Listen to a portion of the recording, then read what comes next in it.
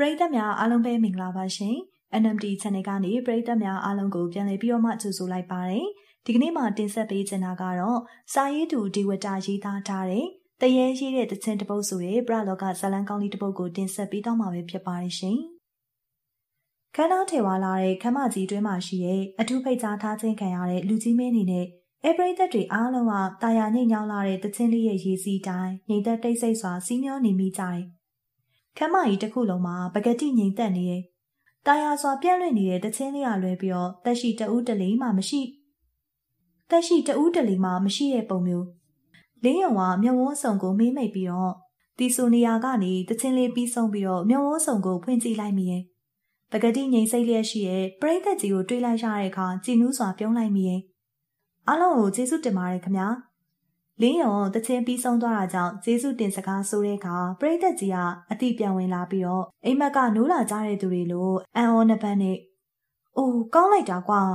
ဟုတ်ပါနော်လုံးဝစီးမျောသွားမိရဲ့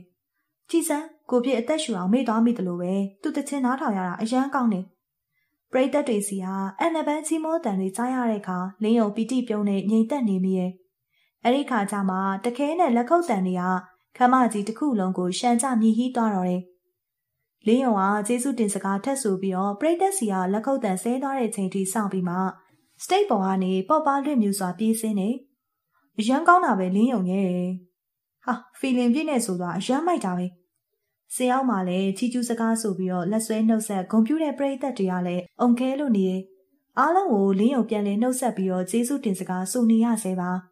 မကြခင်မှာပဲစုပေးပွဲစီစဉ်စတင်တဲ့အခါ ယခုနှစ်အတွက်အကောင်းဆုံးအမျိုးသားတေးတန်ရှင်ခမ်းမကြီးတစ်ခုလုံးဟာပြန်လည်ငြိမ်သက်သွားစဉ်အစီအစဉ်ကြီးညာသူဟာအတန်ကိုမြင့်တင်ပြီးတော့ကြီးညာတယ်။လင်းယုံပဲဖြစ်ပါတယ်။လက်ခုပ်တန်တွေကခမ်းမကြီးတစ်ခုလုံးကိုပြန်လည်ပဲ့တင်ထပ်ပြီးတော့မြည်ဟီးသွားရပြန်တယ်။လင်းယုံကကိုရိုင်းရေးစုထုတ်လုပ်ထားတဲ့လိုင်းရှိုက်တန်တေးစီးဒီနဲ့ယခုနှစ်အတွက်အကောင်းဆုံးအမျိုးသားတေးတန်ရှင်စုကိုရရှိခဲ့တာပဲဖြစ်ပါတယ်ရှင်။ ပရိသတ်တွေရဲ့အားပေးကွန်ပျူတာကတော့ညံနေသေးပါပဲ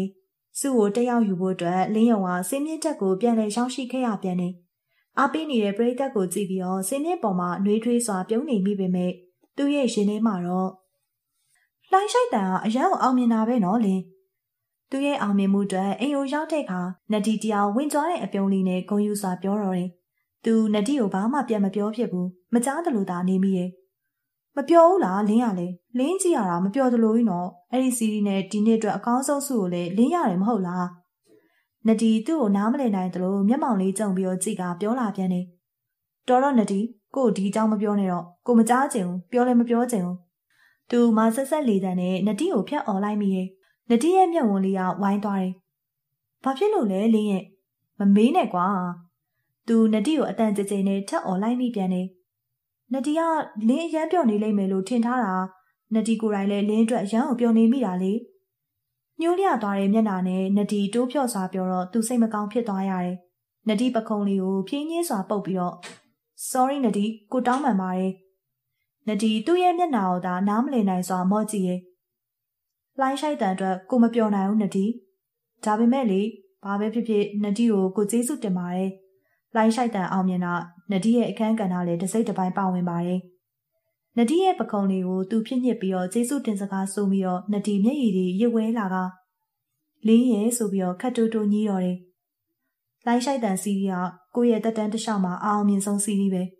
။ကိုအတွက်မထင်မှတ်နိုင်လောက်အောင်မမျော်လင့်ရဲလောက်အောင်အောင်မြင်ခဲ့တဲ့စီးရီပဲ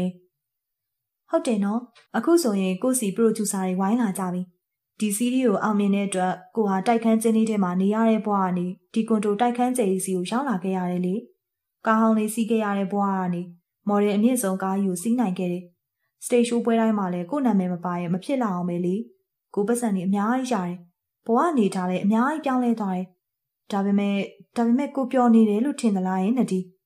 ဟမ်ကိုကိုလုံးဝမပြောဘူးသူ့ရဲ့တန်တွေကတုံလိုက်နေရဲ့စကားဆုံးရင်သူ့ရဲ့လက်ကို စုပ်ကင်ဖြစ်ညစ်ပြီးတော့အားပေးတဲ့သူကနတီပဲဖြစ်တယ်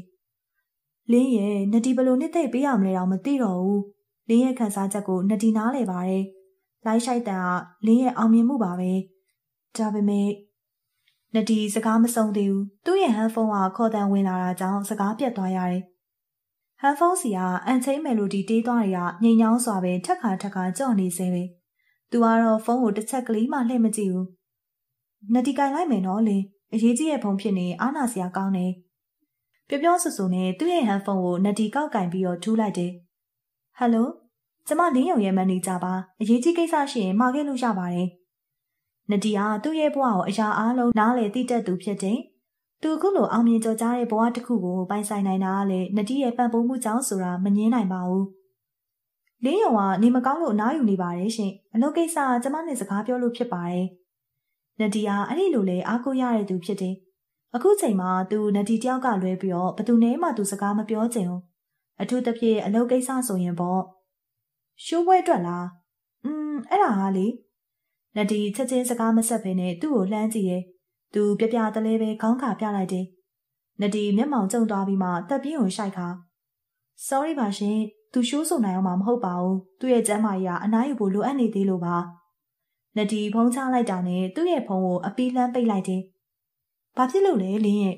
ကိုရှိုးမဆိုခြင်းနဒီပရိသတ်ကကိုကိုမြင်လိုက်တာနဲ့လှိုင်းရှိုက်တံကိုပဲလှမ်းអော်တော့တာ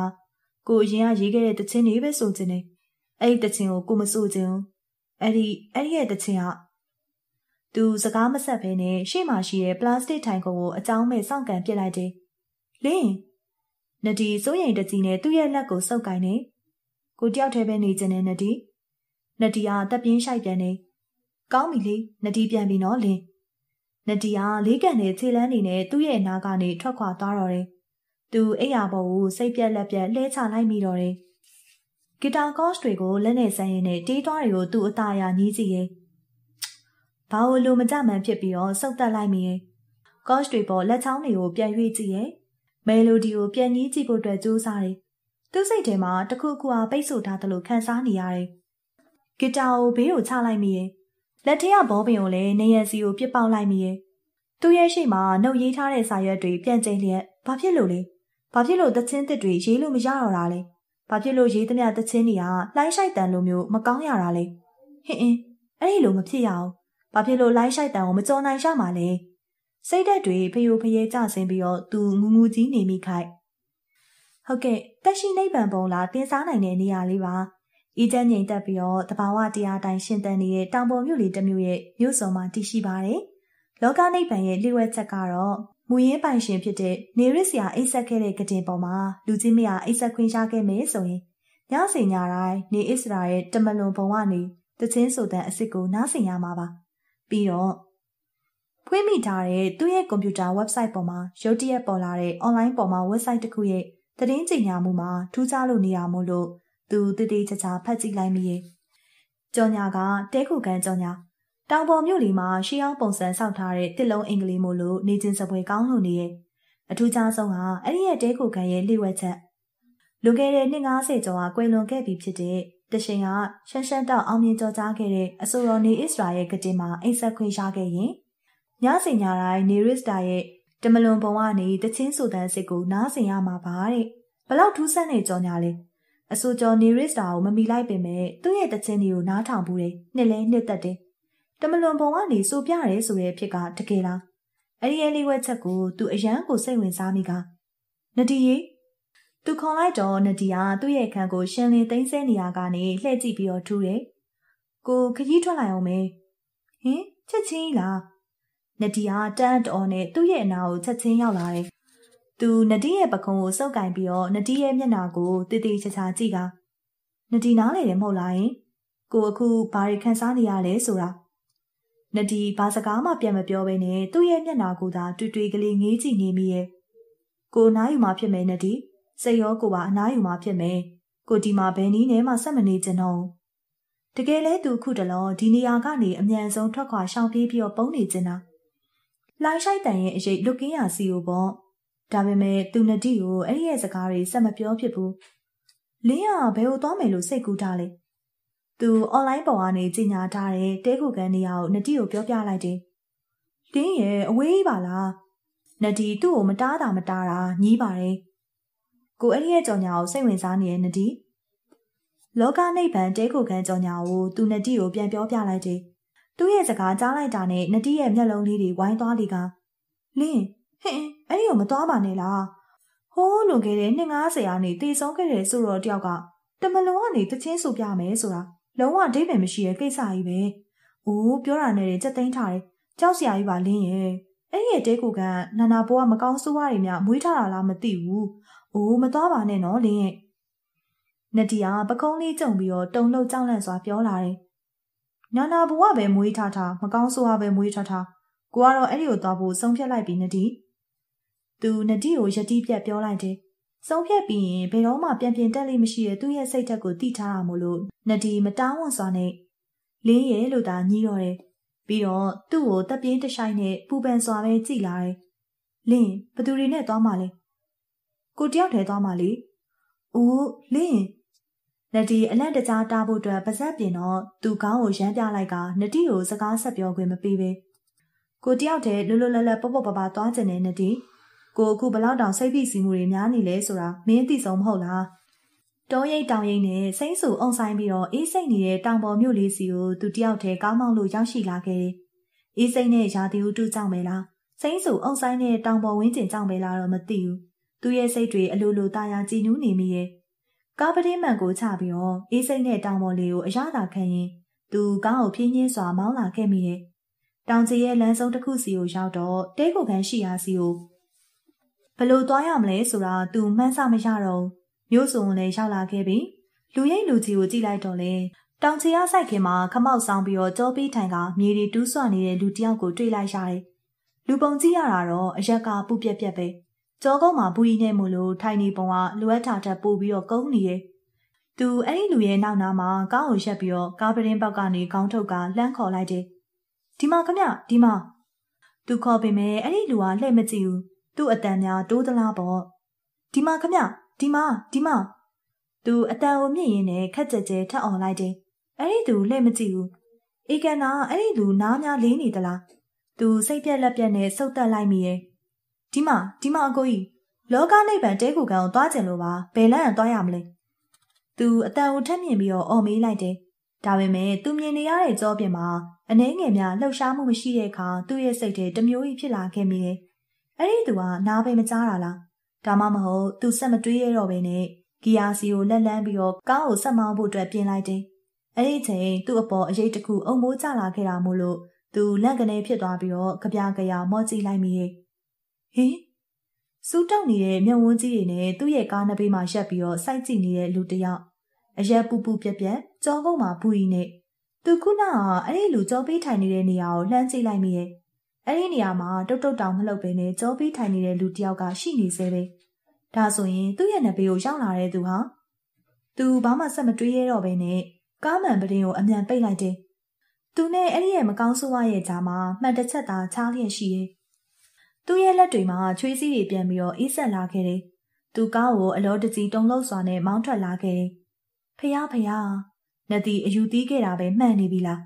တမလွန်ကတချင်းတန်ကိုနားထောင်ကျင်သောသူဟာအဲ့ဒီရဲ့တဲကိုခန်းစီကိုမရောက်သေးခင်မှာပဲခြောက်ချားစရာအဖြစ်ပြက်ကကျုံနှစ်လိုနေခဲ့ပြီဒါမျိုးဖြစ်ပျက်ကိုတကားမှမကြုံတွေ့ဘူးတာမို့လို့သူတကယ်ပဲချွေးစည်းနေပြန်ပြီးတော့တုံလောက်ခြောက်ချားနေမိရဲ့နောက်ထပ်ရောလောကနိဗ္ဗာန်တဲကိုခန်းရှိဟာဟောဒီရဲ့တောင်ပေါ်မြို့မှာဘလို့ထိတ်လန့်ခြောက်ချားစရာဖြစ်ပျက်မျိုးသူကြုံတွေ့ရအောင်ပါလေသူရဲ့စိတ်ထဲကြိုပြီးတော့တုံလောက်နေမိရဲ့စန်တဝါဝါနဲ့တပြေးပြေးချင်းမောင်းလာခဲ့ရင်လမ်းခွဲတစ်ခုစီကိုအရောက်မှာ လှိဝက်ချက်ဖြင့်လောကနိဗ္ဗာန်တဲကိုခန်းစီတို့အဲ့ဒီလိုရေးထားတဲ့ကြော်ညာဆိုင်ဘုတ်ကိုတွေးလိုက်ရတော့သူဝမ်းသာသွားမိရဲ့ကြော်ညာဆိုင်ဘုတ်ကမြို့ကြီးမာလိုမျိုးခက်မမီပေမဲ့ပြီးစလွယ်မဟုတ်ပဲကျွန်းသားပေါ်မှာကနှုတ်ပန်းနေနဲ့မိုးမှန်ပြီးတော့ရေးသားထားတာမို့လို့ခန့်ညားထဲဝါလို့နေရဲ့သူစိတ်လက်ပေါ်ပါစွာနဲ့ကြော်ညာဆိုင်ဘုတ်တိုင်းလမ်းချိုးကို꿰လိုက်တယ်ဝေါကနေအကြောင်းမဖွေရတခဲနဲ့မြည်ဟီးတန်တဲ့အတူ စိန်ပန်းပြပင်ကြီးပေါ်ကနေငှက်တုပ်ကသူ့ရဲ့ကားရှိမှပြိုဆင်းလာခဲ့တော့တယ်။သူအလန့်တကြောင်អော်ပြီးတော့ကားကိုချက်ချင်းဘရိတ်ဖမ်းအုပ်လိုက်တယ်။ရုတ်တရက်မို့လို့ကားကလည်းရမ်းခါသွားတယ်။သူကလည်းထိတ်လန့်သွားရတာမို့လို့မျက်လုံးတစ်စုံကိုဖိမိတ်ပြီးတော့လှုပ်ရှားသွားရတဲ့စိတ်ကိုတည်နေအောင်လို့ပြန်ကြိုးစားလိုက်ရတယ်။ခဏကြာတော့မှဟူးကနေလေပူရီမှုတ်ထုတ်ပြီးတော့မျက်လုံးကိုပြန်ဖွင့်ကြည့်လိုက်တဲ့အခါခုနအုံလိုက်ကျင်းလိုက်ပြိုစင်းကြလာတဲ့ငှက်အုပ်ကြီးကတကောင်တလေးမှကိုရှိမနေဘူး ဘာမှမဖြစ်ခဲ့သလိုပကတိငြိမ်သက်နေရဲ့သူကိုယ့်ရဲ့မျက်လုံးကိုမယုံနိုင်အောင်ဖြစ်သွားရတယ်ဒါဒါဘာတွေဖြစ်ခဲ့တာလဲသူကြော်ရဲစိမ့်တက်လာပြီးတော့ကားကိုအဲ့ဒီနေရာကနေအမြန်မောင်းထွက်ခဲ့မိရောတယ်။ဘာဖြစ်လို့ဒီမြို့ဟာဒီလောက်တောင်ခြောက်ခြားစရာကောင်းနေရတာလဲ။ဒါပေမဲ့လို့ဘာပဲဖြစ်ဖြစ်သူကတော့ဆုံးဖြတ်ခဲ့ပြီးတဲ့အတိုင်းလောကနိဗ္ဗာန်တဲခုခံကိုအရောက်သွားမှာပဲဖြစ်တယ်။နှိဝက်ချက်နဲ့လောကနိဗ္ဗာန်တဲခုခံ စိုင်းပုတ်ကိုဖတ်ပြီးတော့တလန်းလုံးခြောက်ခြားတုံလောက်လာခဲ့သမျှလွင်းစင်ပြေပြောက်သွားတယ်လို့သူပြုံးလိုက်မိတယ်။သူစိတ်ဝင်စားခဲ့ရတဲ့တဲခုခံစီကိုတကယ်ပဲရောက်ရှိလာခဲ့ပြီ။တဲခုခံလို့သာဆိုရင်အင်းကြီးတစ်လုံးနဲ့သာတူပါတယ်။ကနုတ်ပန်းနေမိုးမှန်ပြင်ဆင်ထားတဲ့အိမ်မှာရှီဟောင်းလက်ရနဲ့မို့လို့အိုဟောင်းပြီးဖြစ်ပေမဲ့ခန်းသားထေဝါလို့နေရဲ့အတော်လေကြီးမကျိန်ဝန်းလာတာမို့လို့နန်းတော်ကြီးတဆောင်လာထင်မားစရာပါပဲ ဒါပေမဲ့တိတ်ဆိတ်ငြိမ်သက်လွန်းလာတာကလူမနေတာကြပြီဖြစ်တဲ့အဆောက်အုံဟောင်းတစ်ခုလိုပါပဲသူခြံဝန်းတကားဝမှာရက်ပြီးတော့လူရိတ်လူချေရှာတယ်သူ့ရဲ့နှပိမှာဖြက်ခနဲ့အရေးတစ်ခုကျလာတာလမ်းပြီးတော့ဘေးကိုအမြန်ရှောင်လိုက်မိရဲ့လှဲကြည့်လိုက်ပြီးတော့ကောင်းပိုင်အုတ်တုပ်အဟောင်းဒေါ်စီဖနက်ရှည်ကြီးနဲ့တောင်ရစိုက်ပျိုးရေးသမားပုံစံအကျန်းတယ်တွေဝစ်စင်ထားတဲ့လူကြီးတယောက်ကိုတွေ့လိုက်ရတယ်တောင်ရသမားပုံစံကြကြတန်းတန်းပင်မဲ့အဲ့ဒီလူကြီးရဲ့အပြုံးတွေက နှွေးထွေးဖော်ရွေတာမို့လို့သူစိတ်သက်သာရရှသွားတယ်။ခုနကလန့်သွားရတဲ့အတွက်အာတုံအာနာဖြစ်သွားမိတယ်။တဲကိုကျင်လို့ပါလားခမ။မျိုးစုံရွာစုံမှာနေပေမဲ့အထက်တန်းကျတဲ့စကားပြောပုံကြောင့်သူအံ့ဩသွားရတယ်။ကျွန်တော်တဲကိုကန်ပိုင်ရှင်မှာအောင်ခတ်မှာ။အော်လုံးဝတင်မမထားတာမို့လို့သူတန်းတော်နဲ့အာတုံအာနာပြန်ဖြစ်သွားရတယ်လောကနိဗ္ဗာန်တဲခုခံပိုင်ရှင်ကိုတောင်ရသမားပုံစံနဲ့တွေ့ရလိမ့်မယ်လို့သူလုံးဝထင်မှတ်မထားခဲ့ဘူး။ သူကြပြကြရကောင်းညွတ်ပြီးတော့ပြုံးပြလိုက်ရကဟုတ်ကဲ့ကျွန်တော်လင်းယုံပါဒီမှာတဲခုကျင်လို့ပါ။သူမိတ်ဆက်စကားကြားလိုက်ရတော့တဲခုခံပိုင်ရှင်ရဲ့မျက်နှာကမယုံကြည်နိုင်လောက်အောင်တန်းတအော်ဖြစ်သွားက။အိုးလင်းယုံဟုတ်လား။အာနာမည်ကြီးဆိုတော့ပဲနားထောင်ဘူးရဲ့ဗျ။ခမရဲ့တခြင်းနေကျွန်တော်အမျိုးသမီးတိတ်ကြိုက်တာ။အာသူသာသိရင်တိတ်ဝမ်းတာမှာ။အောင်ခန့်ဆိုတဲ့တဲကိုကန်ပိုင်ရှင်ကဝမ်းသာအဲလေပြောလာတဲ့အခါသူအနှင်းငယ်စိတ်ညစ်သွားမိရဲ့ အမှန်တိုင်းပြောရရင်ဒီလိုနေရာမျိုးမှာသူ့ကိုနိုင်ငံကျော်အဆိုတော်လင်းယုံဖြစ်နေတိနေရာမျိုးကိုသူစိတ်ပြတ်မိရဲ့တာမန်လူတယောက်အနေနဲ့တောင်ဒီလိုတောင်ပေါ်မြို့ကလေးမှာလွတ်လပ်ပေါ့ပါစွာအနားယူခြင်းနဲ့လေအဲ့ဒီလူကသူ့ကိုဝမ်းသာစကားတွေပြောရင်းနဲ့လက်ဆွဲနှုတ်ဆက်တယ်ကျန်းရှာအေးဆက်တလောက်တန်မာလွန်းလာတဲ့တောင်ရသမားရဲ့လက်အထီတွေ့ကြောင့်သူဆက်ခနဲ့တွန့်သွားမိကစိတ်နှောက်ယှက်ဖြစ်သွားမိရဲ့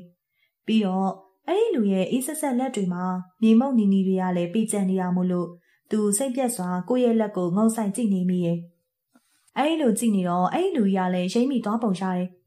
အာ sorry ပါဗျာကျွန်တော်လက်တွေပြကြံနေတာတတိလွတ်သွားလို့ပါတောင်းပန်ရင်ကနေအဲ့ဒီလူကြီးကသူ့ရဲ့လက်တွေကိုဖြည့်လွတ်ပေးလိုက်တယ်ဟိုကျွန်တော်အိတ်တွေကားပေါ်ကယူချလိုက်အောင်မယ်သူစကားလမ်းချောင်းပြောင်းလိုက်တယ်နေနေပါဗျာကျွန်တော်တည်ပေးပါမယ်လူကြီးတယောက်ပြီးတော့သူတဲမဲ့တဲခုခံပိုင်ရှင်ကိုယ်တိုင်က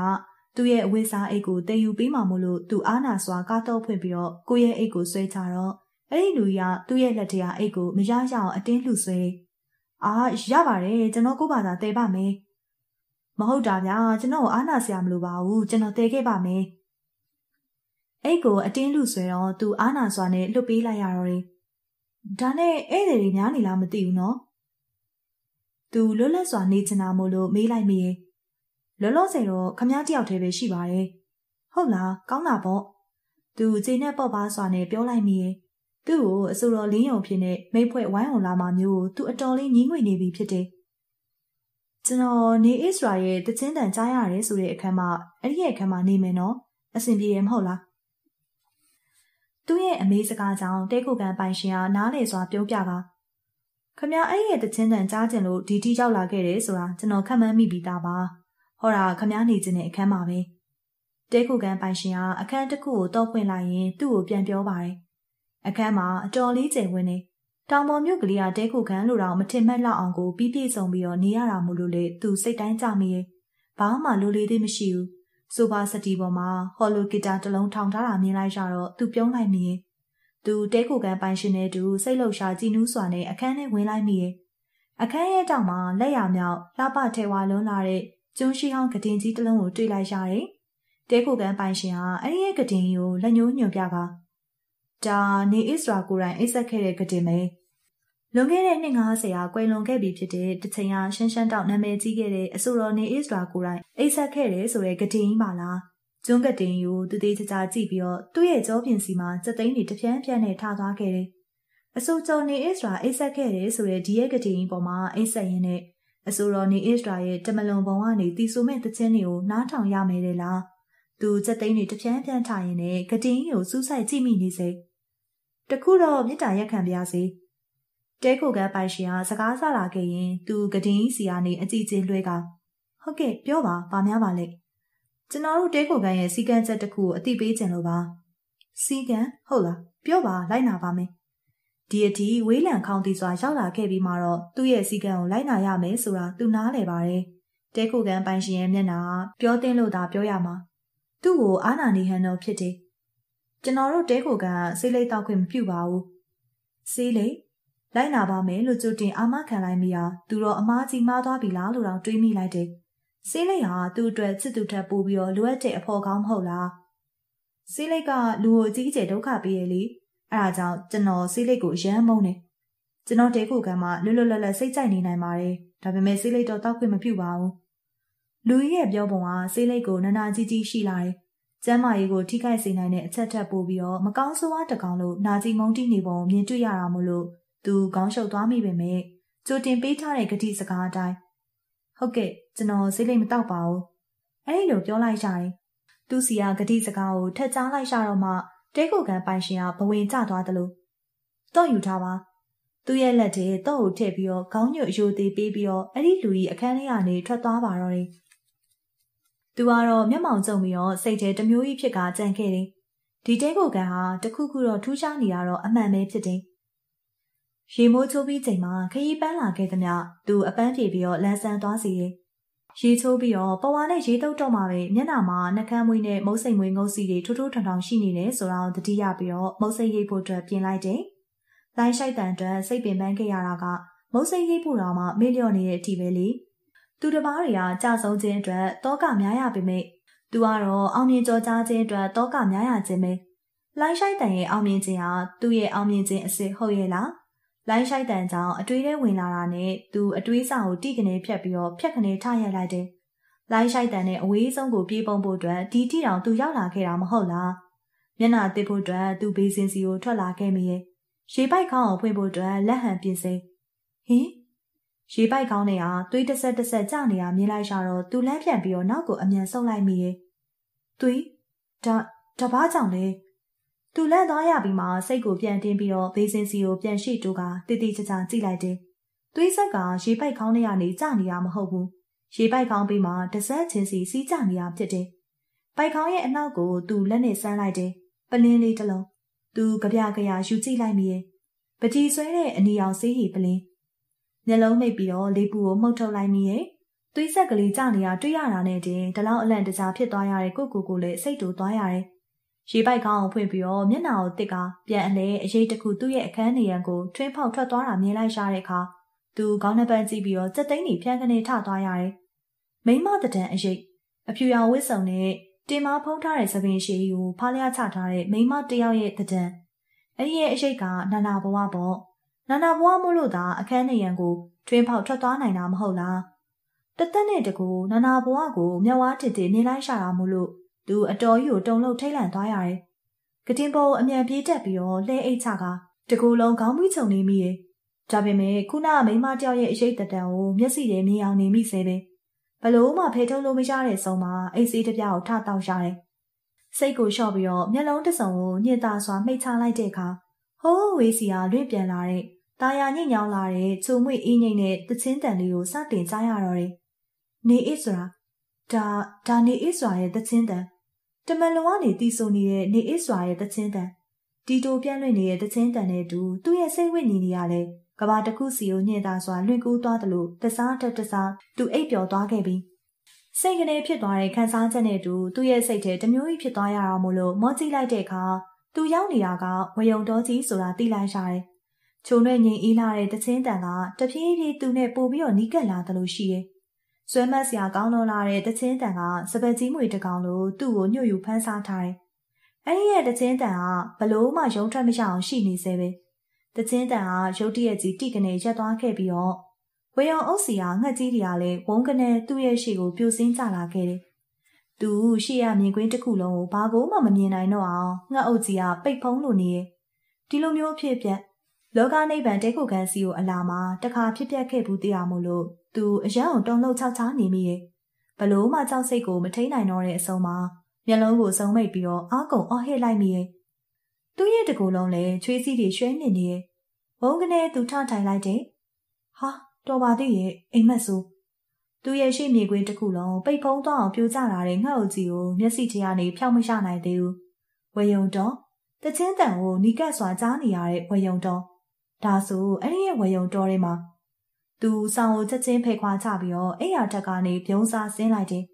သူ့ရဲ့နားထဲမှာတိုးတဲ့တဲ့တချင်းတန်မြင်မြင်လေးကိုကြားနေရတယ်အခန်းတကားကိုတွက်လက်စွာဖွင့်ပြီးတော့အပြင်ထွက်ဖို့အတွက်ပြင်လိုက်တယ်အပြင်မှာတော့မိုးကကောင်းကောင်းမလင်းသေးဘူးမြူတွေပိတ်ဖုံးပြီးတော့ဝေလီဝေလင်းနဲ့အမောင်တူဟာကြီးစိုးနေရဲ့သူ့ရဲ့မျက်လုံးတစ်စုံကိုညင်သာစွာမိတ်ချပြီးတော့တချင်းတန်ရှိရာစီကိုရှိသမျှအားကွန်တွေကိုတုံးပြီးတော့နားဆိုင်ထောင်လိုက်တယ်။ အဲဒီနောက်သူ့ရဲ့ခြေလမ်းတွေဟာအသိစိတ်ကင်းလွတ်နေသူတယောက်လိုတချင်းတန်ရှိရာစီကိုတစားတက်တစား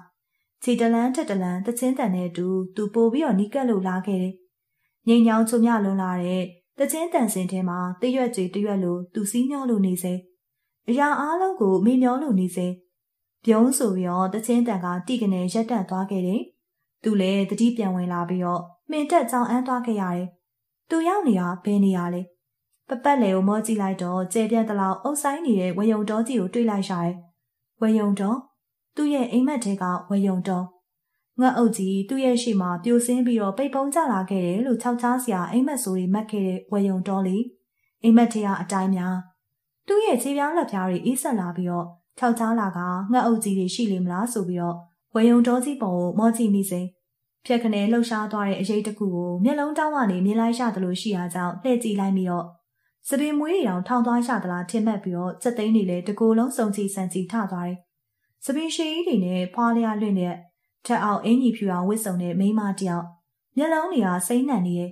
သူ့ကိုစူးစူးဝါးဝါစိုက်ကြည့်နေရကအသေးအေးဖွယ်ရအတိမင်းညသူ့ရဲ့အခန်းနေရန်ကိုထွင်းပေါက်ပြီးတော့ထွက်သွားတဲ့မိန်းမဒါဆိုသူ့ရဲ့မျက်စိရှိမှမြင်နေရတဲ့မိန်းမကနာနာဘဝပေါ့သူထိတ်လန့်ချောက်ချားစွာနဲ့နောက်ကိုစုံမိစေ လက်အေးတစ်ဖက်ကပခုံးကိုကိုင်းလိုက်တာရုတ်တရက်ခန်းစားလိုက်ရတယ်သူအားကနေကြောက်လန့်တဲ့ကြောင်အော်လိုက်မိရဲ့ထိတ်လန့်တုံးလုံးစွာလှည့်ကြည့်မိတော့သူမြင်လိုက်ရတာကတဲကိုကန်ပိုင်ရှင်ပဲဖြစ်တယ် sorry ဗျာရုတ်တရက်ဆိုတော့ခမားလန့်သွားတယ်ထင်တယ်အင်းကျွန်တော်ရှေ့ကိုစိတ်ဝင်စားနေပြီလို့သူထိတ်လန့်သွားမိတဲ့အဖြစ်အတွက်ရှက်အမ်းပြီးတော့သပင်တွေကိုကုတ်ခွာရင်းနဲ့ပြန်ပြောမိရဲ့။ဘာများစိတ်ဝင်စားစရာတွေ့လို့လဲ။ တဲခုကန်ပိုင်ရှင်ရဲ့မျက်နှာဟာအတိတ်ပဲတစ်ခုနဲ့လေးနဲ့တလူလို့သူထင်မိရဲ့။ခုနကနာနာဘဝမကိုတွေးလိုက်ရတဲ့အဖြစ်ကိုသူပြောတင်မပြောတင်စဉ်းစားနေမိရဲ့။ခုနကနာနာဘဝမတွေးလိုက်ရတဲ့နေရာကိုပြန်ကြည့်တော့လေမြင်ကွင်းမှာဘာမှရှိမနေဘူး။သူပြောရင်တဲခုကန်ပိုင်ရှင်ကယုံကြည်ပါမလား။မပြောဖို့အတွက်သူဆုံးဖြတ်လိုက်တယ်။ဘာရမဟုတ်ပါဘူး။ဒီလောက်ကြီးမားတဲ့ဝင်ယုံတော်ကြီးကိုတခါမှမတွေ့ဘူးလို့အံ့ဩနေမိတာပါတဲခုကန်ပိုင်ရှင်ဟာသူ့ရဲ့စကားကြောင့်ပြုံးလိုက်တယ် သူစကားကိုယုံကြည်ဟန်မပြအောင်လေဒါပေမဲ့ကောင်းတစ်ချက်ဆက်ကဟုတ်ပါတယ်မြို့မှာအနေများတဲ့သူတွေဖို့တော့ဒီလိုမြင်ကွင်းမျိုးကအံ့ဩစရာစိတ်ဝင်စားစရာပေါ့ဒါပေမဲ့ခမ ्या ကိုတခုတော့တတိပေးပြစေဒီဝယုံတော့ကိုမလာပါနဲ့တဲခုကန်ပိုင်ရှင်ရဲ့စကားကြောင့်သူမျက်မှောင်ကျုံလိုက်မိရဲ့ဒီလူကြီးသူ့ကိုဘာလို့တားရတာလဲဘာအကြောင်းကြောင့်တားရတာလဲသူပြန်မေးဖို့အတွက်ပါဆက်ပြင်လိုက်မိမှအဲ့ဒီလူကြီးကိုခေါင်းငိမ်ပြကတခြားအကြောင်းအရာတစ်ခုစီကိုစကားပြောင်းလိုက်တယ် ဒါနဲ့အကိုကရောဒီကိုဘာလာလောက်တာလဲသူ့ရဲ့မိကွန်းကြောင့်အဲ့ဒီလူကြီးရဲ့မျက်နှာမတိမတာပြည့်ရင်းသွားတယ်အဲ့ဒီလူရဲ့လက်တွေကလည်းမြေမုံတွေပေးချင်နေအောင်သူတွေ့လိုက်တယ်မိုးတော်မလင်းသေးခင်မနက်အစောကြီးမှာဒီလူကြီးဒီနေရာမှာဘာကြောင့်များမြေကြီးကိုတူးဆွဖို့အတွက်လာခဲ့ရတာလဲသူ့စိတ်တရားတန်တရားကိုအဲ့ဒီလူကြီးကအကဲဖမ်းမိတယ်လို့နဲ့ချက်ချင်းမျက်နှာကိုပြင်ကကျွန်တော်ကဆေးပင်လာတူးတာပါအဲ့ဒီလူကြီးကလက်ထဲကင်ထားတဲ့ပလတ်စတစ်တပုံကိုသူမြင်တောင်းလို့ရှေ့တိုးပြတယ် ပလတ်စတစ်ပုံထဲမှာတထွားကြောကြောခန့်ကမုံပင်ပေါက်လို့လို့အပင်လေးတစ်ပင်ကိုတွေ့လိုက်ရတယ်ကျွန်တော်မိမအိတ်မပြောတဲ့ယောဂရှိရဲ့လေအဲ့ဒါကြောင့်နေ့တိုင်းဒီဆေးပင်ကိုကြိုတိုက်ရတယ်ဗျဒီဆေးပင်ကစားကောင်းအိတ်ပြောပြီးတော့ကျမ်းမာရေးကောင်းစေရဲ့လေခမရရောညအိတ်ပြောရဲ့လားအိတ်မပြောရင်ဒီဆေးကိုတောက်ပါလားကျွန်တော်ကြိုပြီးတော့လာပို့ပေးပါမယ်နေပါစီပြားကျွန်တော်အိတ်ပြောပါတယ်ဘယ်မှမသိတဲ့အပင်တွေကို तू မယုံကြည်ဘူးပြီးတော့အဲ့ဒီလူယိုလည်း तू မယုံကြည်ဘူးကျွန်တော်မိန်းမကတော့ဒီဆေးကိုနေ့တိုင်းတောက်တယ်လေ အင်းလေကျွန်တော်ကသူ့အတွက်နေ့တိုင်းဒီလိုမနဲ့အစောကြီးဆေးပင်ထတူးပြီးတော့ကြိုတိုက်ရတာပေါ့မိန်းမတယောက်အတွက်မနဲ့အစောကြီးအေးအေးပြက်ခံပြီးတော့အပင်ထတူးရတယ်လို့အတော်ယူတဲ့လူကြီးသူများတွေကတော့ကျွန်တော်ရဲ့လောက်ရက်ကိုယူတယ်လို့များထင်နေမလားမသိဘူးနော်ကျွန်တော်ကကျွန်တော်မိန်းမတိတ်ချစ်တယ်လေမြတ်စွာဘုရားသူ့စိတ်တရားစကားလုံးတွေကိုဒီလူကြီးသိများနေသလားသူတန်းတော်ဖြစ်နေစေမှာပဲအဲ့ဒီလူကြီးဆက်ပြောတဲ့စကားတွေကသူ့ကိုပို့ပြီးတော့အံ့အားသင့်စေရဲ့ ဒါနဲ့ခမညညတော့ကနေအစ္စရာရဲ့တချင်းတန်ကိုနားထောင်ရတယ်မလားဘယ်နဲ့လဲနားထောင်ရတယ်ပြောရမလားမကြားရဘူးလို့ပဲညာရမလားပြီးတော့သူ့ရဲ့အခန်းနေရန်ကိုတွင်းဖောက်ပြီးတော့ထွက်သွားတဲ့မိန်းမတယောက်ဝယုံတော်စီမှာသူ့ကိုစိတ်နဲ့တဲ့မျက်လုံးကြီးတွေနဲ့ဆူဆူဆက်ဆက်ကြီးစိုက်ကြည့်နေတဲ့မိန်းမတယောက်အဲ့ဒီမိန်းမနေအစ္စရာလားသူတဲခုကန်ပိုင်ရှင်ကိုဘယ်ကဘလို့စပြောရမလဲစဉ်းစားမရနိုင်စေပဲခမည်းဘယ်သွားအောင်မလဲကျွန်တော်တဲခုကန်ကိုပဲပြန်မလို့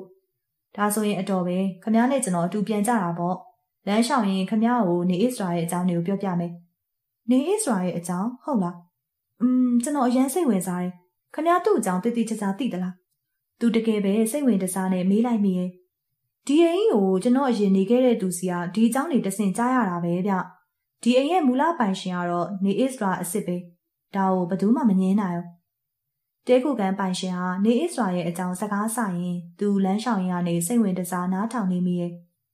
ဒီအိမ်ကိုနေအစ္စရာကသူစိတ်ကြိုက်စောက်ခဲ့တာတဲ့သူတို့ဇနီးမောင်နဲ့နှစ်ယောက်တည်းနေတယ်လို့ပြောကြတယ်ဗျ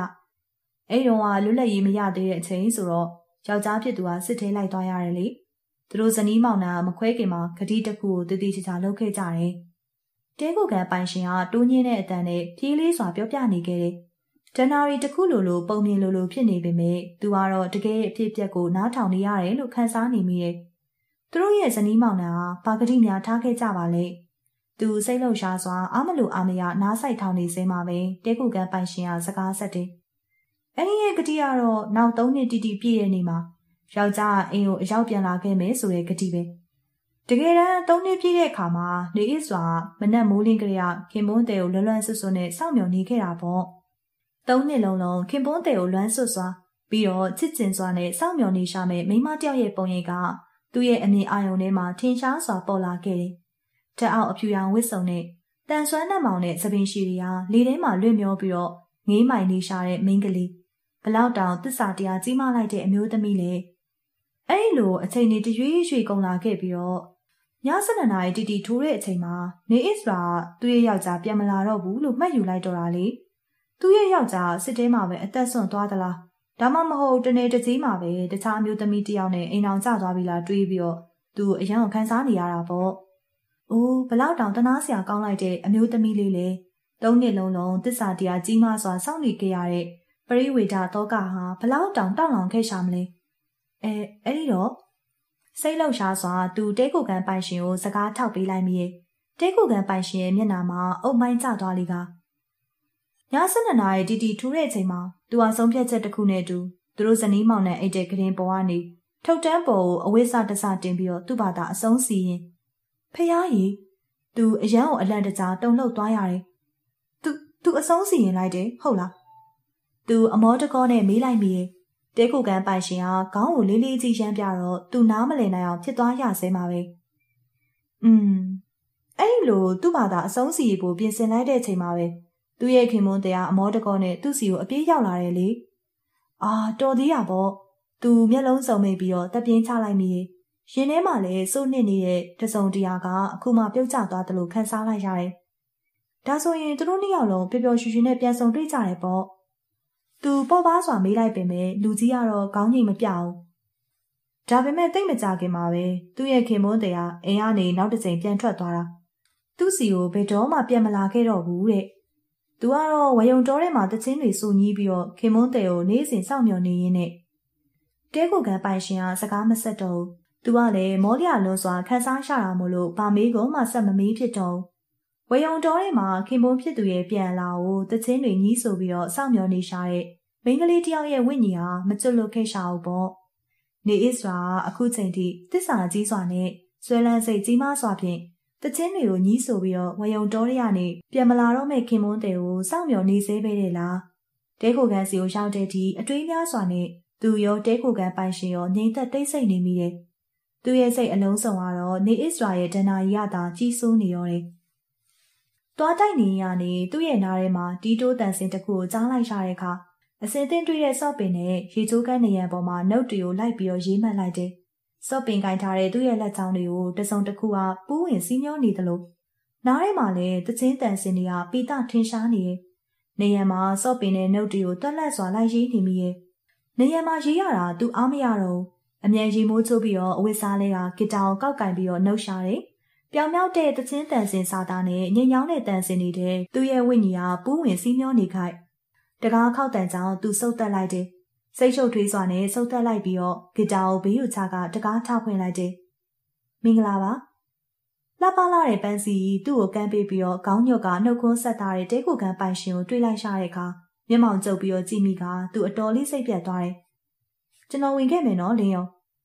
အလကားဝင်ခွင့်တောင်းနေသေးတယ်သူပိုင်တဲ့တဲကိုကန်ပဲဟာမဝင်နဲ့တားတော့ရောရမှာမို့လို့လားသူအငေါ်တူးစွာနဲ့တွေးမိပြီးတော့အဲ့ဒီလူကမ်းပေးတဲ့ပန်းစီကိုလှမ်းယူက စပွဲပေါ်ကိုခက်ရိုင်းရိုင်းပဲပစ်တင်လိုက်တယ်။အဲ့ဒီလူမတိမတာမျက်နှာပြည့်ရင်းသွားပေမဲ့ချက်ချင်းပဲဘာမှမဖြစ်တယ်လို့ပြောပြီးတော့ခမ ्या ကိုကျွန်တော်မိမထမင်းစားဖိတ်ခိုင်းလိုက်လို့ပါ။သူကိုယ်တိုင်ချွေးတလုံးလုံးနဲ့ဖွယ်ဖွယ်ရရဖြစ်အောင်လို့ပြင်ဆင်ချက်ပြုတ်ထားနေတယ်။အဲ့ဒါသူကခမ ्या ရဲ့တခြင်းတွေကိုအရန်ရွတ်တွတ်တာလေ။ခမ ्या ကသူ့ရဲ့ crazy ဖြစ်ဆုံးအဆိုတော်ပဲဗျ။တဲကိုကန်ပိုင်ရှင်ကစကားတွေကိုအားသက်တယ်ရောရှေ့ဘက်မဝင်ပြောနေပေမဲ့သူကတော့အတော့ကိုစိတ်ရှုပ်ထွေးပြီးတော့စိတ်ပြက်နေမိရဲ့။ သူ့ကိုနိုင်ငံကျော်အဆိုတော်လင်းယုံအဖြစ်နဲ့အတိအမှတ်ပြုတဲ့သူတွေကိုမတွေ့ချင်ပါဘူးဆိုကမှပြီးတော့သူတချင်းစာသားတဲ့အရန်ကိုပူးကပ်ပြီးတော့စီးမျောနေချိန်ကျမှရောက်လာခဲ့တဲ့တဲကိုကန်ပိုင်ရှင်ရဲ့မတိဆိုးဝါးနိုင်မှုကိုသူအတော်လေးစိတ်ကုန်နေမိပေမဲ့အဲ့ဒီလူရတော့ဘာကိုမှမတိတတ်စွာပဲအေးသူအကြိုက်ဆုံးတချင်းရလေခမားဆူရလိုက်တဲ့တချင်းလေอืมတချင်းနာမည်ကအော်လိုက်ရိုက်တန်ထင်ပါရဲ့အဲ့တချင်းကိုသူအမြဲတမ်းဆိုတက်လွန်လို့ကျွန်တော်တော့အလွတ်ရနေပြီဗျ အဲ့ဒီလူကြီးကစကားပြောရင်းကလှိုင်းရှိုက်တဲ့တချင်းစာသားတပိုင်းတစကိုစူပြလိုက်တဲ့အခါသူဘယ်နည်းနဲ့မှဆက်ပြီးတော့တီးမခံနိုင်တော့ဘဲနဲ့တတိလက်လွတ်ပဲအာကနေစူးဝါစွာထအောင်လိုက်မိရဲ့တဲကိုကန်ပိုင်ရှင်ကသူ့ရဲ့လှုပ်ရက်ကိုဘလို့မှမထင်မှတ်နိုင်စွာနဲ့ကြောင်အမ်းမြင်သက်သွားတော့တယ်သူကိုယ်တိုင်လည်းတတိလက်လွတ်អော်လိုက်မိပြီးမှတတိပြန်ဝင်လာတဲ့အခါအနေရခက်နေမှန်းသိတော့ကျွန်တော်ခုတချင်းရေးနေတာအိမ်မှာဆိုရင်ကျွန်တော်တချင်းရေးရင်ဘယ်သူနဲ့မှစကားပြောလို့မရှိဘူးကျွန်တော်ကောင်မလေးကအစားပေါ့ သူပြပြတသားပဲတဲကိုကန်ပိုင်ရှင်ကိုပြောချလိုက်မိရဲ့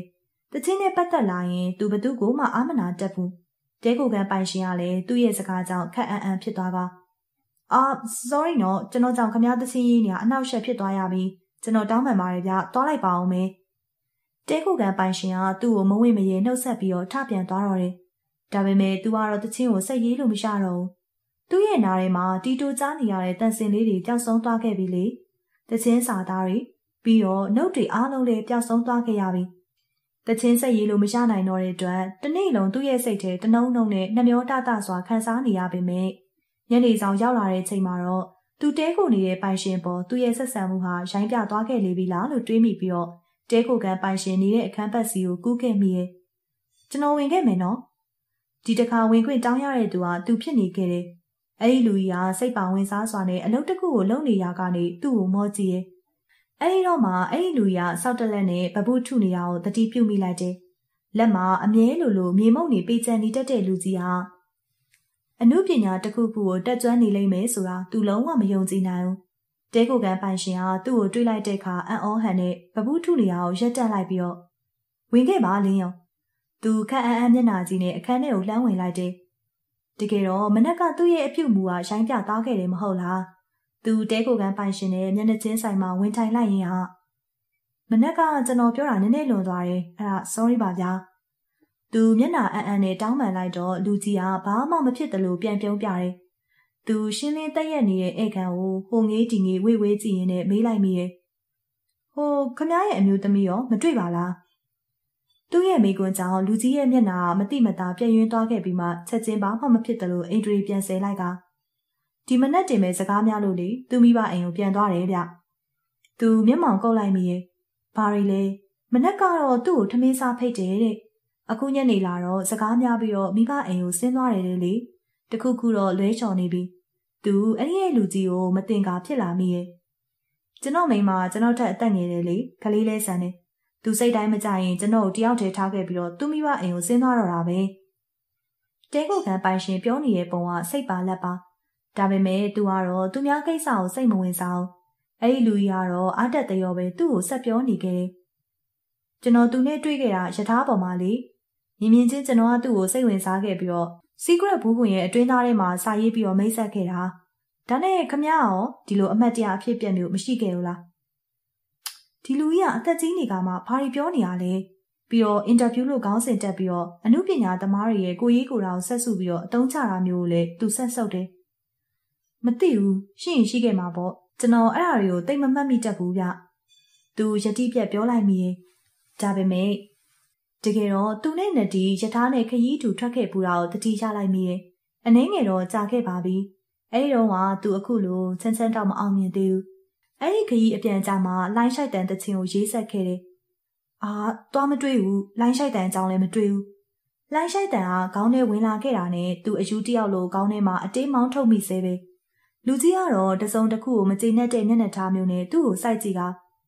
ခမ ्या မချစ်တတ်ဘူးလားခမ ्या ဘွားမှာဘယ်မိန်းကလေးကိုမှမချစ်ခဲ့ဘူးလားခမ ्या မှာချစ်သူတော့ရှိရဲ့မဟုတ်လားအတော်ကြောင်တဲ့မိကုန်းနေပဲသူနဲ့ဘာဆိုင်တာမှတ်လို့ဒါပေမဲ့အဲ့ဒီလူရဲ့မိကုန်းတွေကိုသူ့ဘာသာပြန်စဉ်းစားမိတယ်သူ့မှာချစ်သူရှိရဲ့နဒီဟာသူ့ရဲ့ချစ်သူပဲနဒီဟာသူ့အပေါ်အရန်ကိုကောင်းတော့တဲ့ချစ်သူတယောက်ပဲဖြစ်တယ်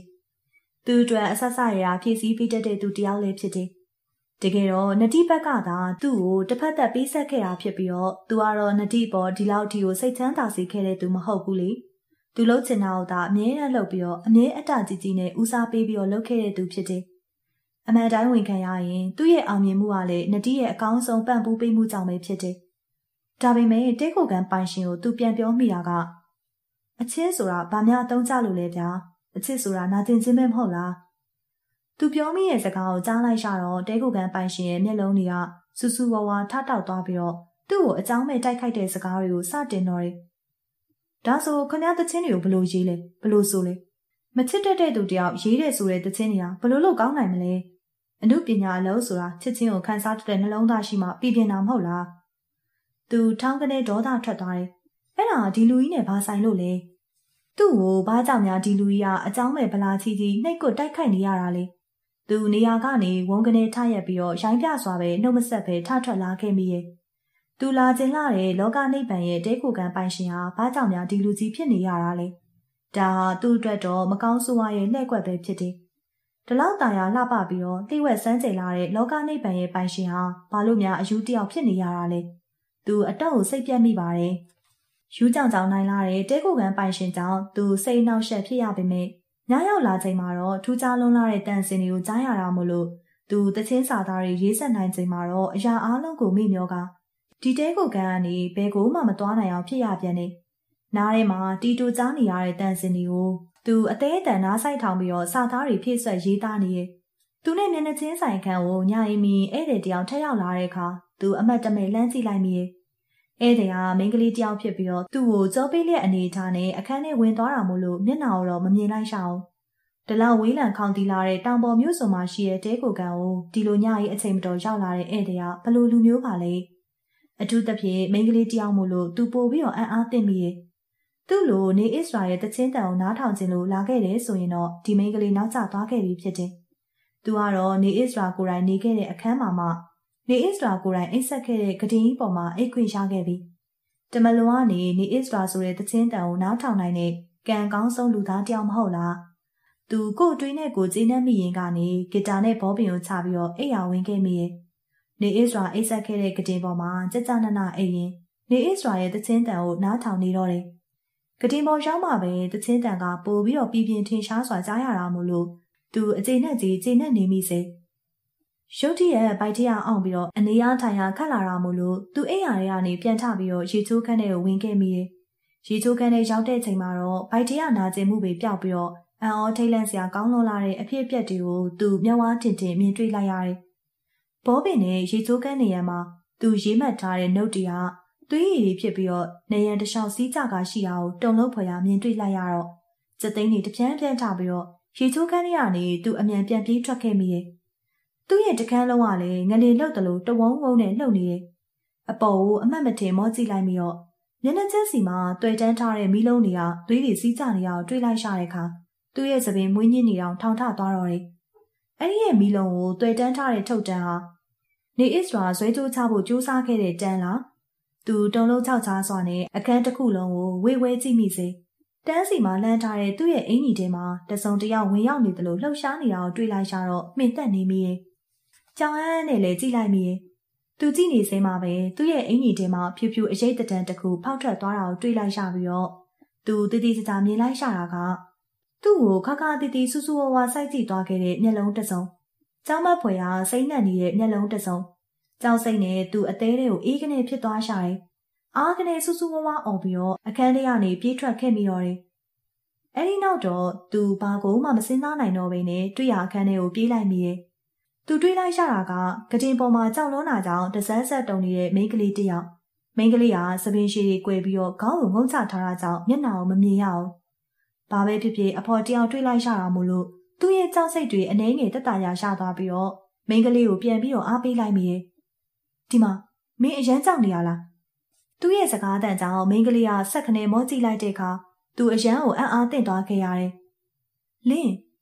ဟေးနဒီ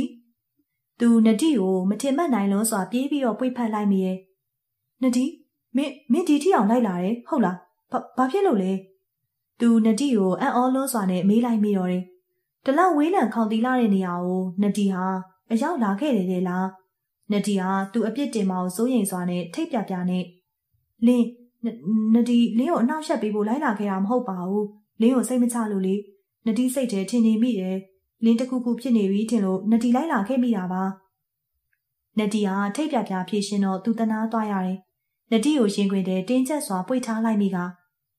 တိပါတယ်ကိုတိပါတယ်နဒီရဲ့ကိုနဒီကိုပြစ်တင်တာမဟုတ်ပါဘူးနဒီဒီဒီပင်ပန်းခံပြီးတော့လိုက်လာခဲ့လို့ကိုအရန်အံ့ဩနေမိတာနဒီနဒီဘာမှမဖြစ်ဘူးမို့လားယင်နဒီလေးဒီကိုလာတော့လမ်းမှာမကောင်းဆိုးဝါးတကောင်နဲ့တွေ့ခဲ့တယ်ကျိုးမှာဘူးကြီးနဲ့နဒီသူ့ကိုလမ်းမေးမိတာဘာမှပြန်မဖြစ်ဘူး ပြီးတော့နဒီကားဘေးကိုချက်ချင်းရောက်လာတယ်အိုးနဒီနဒီကြောက်လိုက်တာလင်းရဲ့နဒီကမျက်လုံးအဝိုင်းသားနဲ့ပြောပြတဲ့ဖြစ်ပျက်တွေကိုကြားလိုက်ရတော့သူပို့ပြီးတော့အံ့အားသင့်သွားရတယ်သူအလာတော့အဖြစ်အပျက်အတိုင်းပါပဲလားပြီးပြီးတော့လမ်းမှာငှက်တအုပ်ကြီးပြိုကျလာတာမတွေ့ဘူးလားနဒီမျက်လုံးအဝိုင်းသားနဲ့ကြောက်စိတ်တွေနဲ့ချက်ချလဲသွားခဲ့ရတယ်တွေ့တွေ့ရဲ့လင်းလင်းဘလို့သိတာလဲလင်းကိုယ်တိုင်လည်းအဲ့ဒီလိုတွေ့ခဲ့ရတာပေါ့ဟုတ်လား သူနဒီကိုဘာမှပြန်မဖြေမိဘူးနဒီခုနကရောဘာတွေဖြစ်ခဲ့သေးလဲခုနကအခန်းတစ်ခုလုံးတဝုံဝုံနဲ့လှုပ်နေတာငနေလှုပ်နေတယ်လို့ပဲအာနဒီကြောက်လိုက်တာလင်းရဲ့တော်သေးတာပေါ့လင်းရောက်လာခဲ့လို့လင်းသာကြောက်မလာခဲ့ရင်လေနဒီတော့အကြောက်လုံးပြီးတော့လိပ်ပြာအောင်လင်းသွားပြီလားပဲကြောက်လန့်တုန်ခိုက်စွာပြောနေတဲ့နဒီကိုကြည့်ပြီးတော့သူအရန်ကိုတနာသွားရတယ်သူ့လိုယောက်ျားတယောက်တောင်ခြောက်ချားထိတ်လန့်ခဲ့မိသေးတာနဒီလေးဘလောက်တောင်ကြောက်လန့်ရှာမလဲ သူ့အတွက်စိတ်မချစိုးရိမ်စွာနဲ့ပူပန်တကြီးလိုက်ရှာခဲ့တဲ့ချစ်သူလေးနဒီဘာမှမကြောက်နဲ့နော်ကိုရှိနေပြီပဲနဒီကိုသူတိုးပြီးတော့ဖတ်လိုက်မိတယ်သူ့ရဲ့ရင်ခွင်ထဲမှာနဒီဟာခေါင်းလေးငိမ့်ပြရှာတယ်အဲဒီနောက်သူ့ရဲ့အခန်းထဲကိုနဒီကိုအတူခေါ်လာခဲ့မိတယ်နေအေးစွာအိတ်ဆက်ခဲ့တယ်ဆိုတဲ့ခန္ဓာထေဝါလာတဲ့ကတင်ကြီးပေါ်မှာသူနဲ့ချီရတဲ့နဒီတို့ကငိမ်ညောင်းချုံမိန်လာတဲ့နေအေးစွာရဲ့တချင်းတန်ကိုနားဆင်ရင်နဲ့ကြည်နူးငိမ်သက်စွာနဲ့နစ်နစ်ရှက်ရှက်အိပ်ပျော်ခဲ့ကြတယ်။ဟင် အဲ့ဟာနိုးတဲ့အချိန်မှာနဒီကိုမတွေ့ရတော့ဘူး။သူအိမ်မုံစုံအားနဲ့မျက်လုံးတွေကျဲသွားခဲ့တယ်။နဒီပဲသွားနေရလဲ။နဒီသူအိမ်ဟာကနေထားလိုက်မိရင်ရေချိုးခန်းထဲကိုဝင်ရှာမိတယ်။မရှိဘူး။နဒီပဲများရှောက်သွားနေရလဲ။ဒီနေ့မှာနတီဘဲကိုမှသွားတက်မှာမဟုတ်ဘူးလေဝေယုံတော်များရောက်သွားခဲ့မိရင်သူနတီအတွက်စိုးရိမ်ပူပန်စွာနဲ့အပြင်ကိုထွက်ရှာဖို့အတွက်စိတ်ကူးစိသူအရန်ကိုအံ့ဩသွားရတယ်အခန်းတကားကအတွင်းကနေချက်ချထားတယ်လေ တကယ်လို့နတီတာအပြင်ထွက်ခဲ့ရင်တကားကပွင့်နေမှာပေါ့သူ့ရဲ့တကူလုံးစက်သိန်းတွေဖြန်းခနေထသွားခဲ့ရတယ်ဒါဆိုမင်းညကသူတွေ့ခဲ့တာသူနဲ့တူရှိနေခဲ့တာနတီမဟုတ်ဘူးပေါ့ဒါဆိုဒါဆိုဘာတူလဲခြောက်ကြားတုံလုံးစိတ်နဲ့အခန်းတကားကိုဖြတ်ခနဲဖွင့်လိုက်ပြီးတော့သူအလက်တကြားထအောင်ပြီးတော့နောက်ကိုခုံဆုပ်လိုက်မိတယ်။အခန်းတကားဝမှာပလတ်စတစ်ပုံတစ်ပုံကိုကင်ပြီးတော့မှုန်တီတီနဲ့သူ့ကိုစိုက်ကြည့်နေတဲ့တဲကိုကန်ပိုင်ရှင်။ခမရမနိုးသေးလို့စောင့်နေတာ။ အာကျွန်တော်လည်းရုတ်တရက်ဆိုတော့လန့်သွားမိရဲ့ဗျာ။ဘာများလန့်စရာရှိလို့လဲ။သူတဲကိုကန်ပိုင်ရှင်ရဲ့မိကွန်းကိုပြတ်မပြေဘူး။တဲကိုကန်ပိုင်ရှင်ကတော့သူ့ကိုခက်ဆူဆူကြည့်တာ။ကျွန်တော်ခမရခန့်ကိုတန့်ရှင်းရေးလုပ်မလို့အဲ့ဒီလိုပြောလာတဲ့အခါသူမတက်နိုင်မဲနဲ့အခန်းဝမှာရက်နေမိရာကနေဖယ်ပေးလိုက်ရတော့တယ်။သူတဲကိုကန်ပိုင်ရှင်နောက်ကနေလိုက်ဝင်မိရင်တည်ကျင်လုံးနေတဲ့ဖြစ်ပျက်တစ်ခုကိုမနေနိုင်စွာနဲ့ဖွင့်မိမိတော့တယ်။ဒါနဲ့ညဧည့်သည်ရောက်သေးလား။ တတဲခုကန်ပိုင်ရှင်ကဖုန်တွေကိုလှဲကျင်းနေရကနေသူ့ကိုလှည့်မကြည့်ပဲနဲ့ဘာဧည့်သည်မှမလာဘူး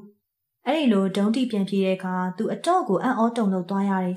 ဒါဆိုရင်သိကြပြီလေညဟာသူတွေ့ခဲ့တာနဒီအယောင်ဆောင်ထားတဲ့မကောင်းဆိုးဝါတစီမတကောင်ကောင်ပဲဖះဖះဘလောက်ညာကြောက်စရာကောင်းလိုက်တဲ့အဖြစ်ပြက်လေ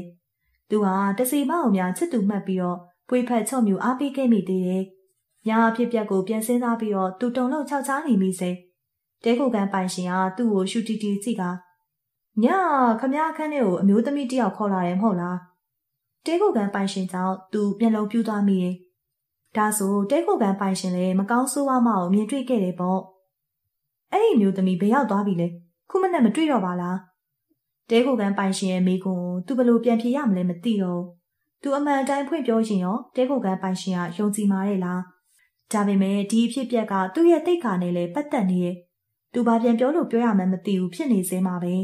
တဲခုကန်ပိုင်ရှင်ကအမိုက်တွေလှဲချင်းရင်ကစီကရက်တူတွေကိုတွေ့သွားတဲ့အခါစိတ်ဆိုးမှန်ဆိုးနဲ့သူ့ကိုလှည့်ကြည့်တာခမရောက်ကျုပ်ဘာပြောထားသေးလဲသူကိုအပြစ်နဲ့ကိုတဲခုကန်ပိုင်ရှင်ကိုဘာမှပြန်မပြောဝင်ပဲနဲ့ငြိမ်သက်နေမိရဲ့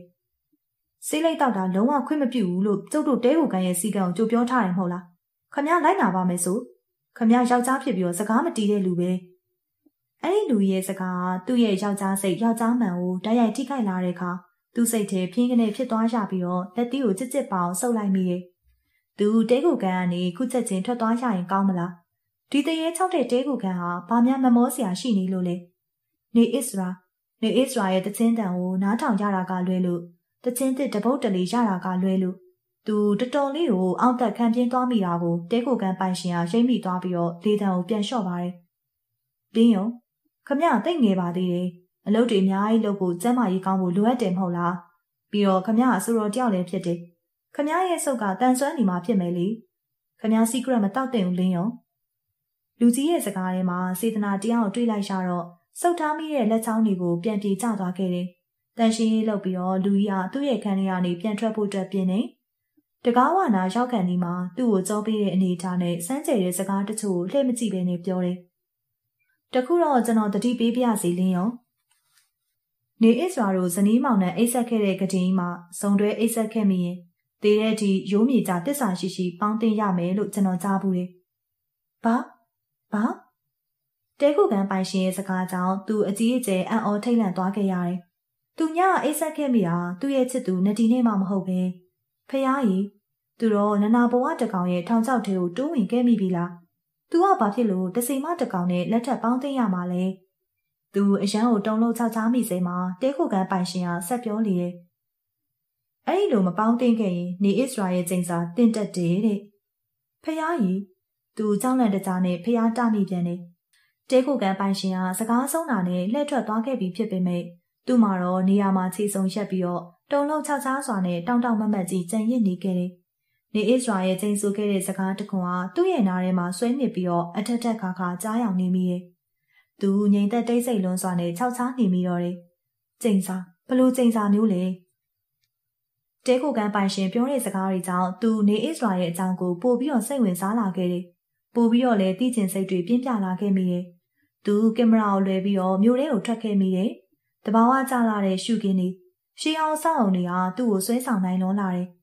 သူမကြာခဏပဲဓာတ်ပုံဆင်းရိုက်မိတီမှလည်းအချိန်ချင်းပဲဖြစ်တယ်။ကားကိုရက်ရင်ဓာတ်ပုံရရင်သူမျိုးတွေကိုရောက်လာခဲ့တယ်။မျိုးထဲမှာရှေးအောင်ဖြစ်စီရောင်းတဲ့ဆိုင်တဆိုင်အောင်တွေ့ရတော့သူစိတ်ဝင်စားသွားမိရဲ့။ဆိုင်ထဲဝင်ခဲ့ပြီးတော့အတော်ရှေးကြလာတဲ့ပကြီကားတွေပပူးရှုပ်တွေနဲ့ရှားပါလာတဲ့ငွေတဲသုံးဆောင်တွေကိုတွေ့ရတယ်။သူကြကြနနဝစ်စားပြင်ဆင်ထားတဲ့ဆိုင်ရှင်ဖြစ်ရန်တူတဲ့စီကိုသွားမိပြီးတော့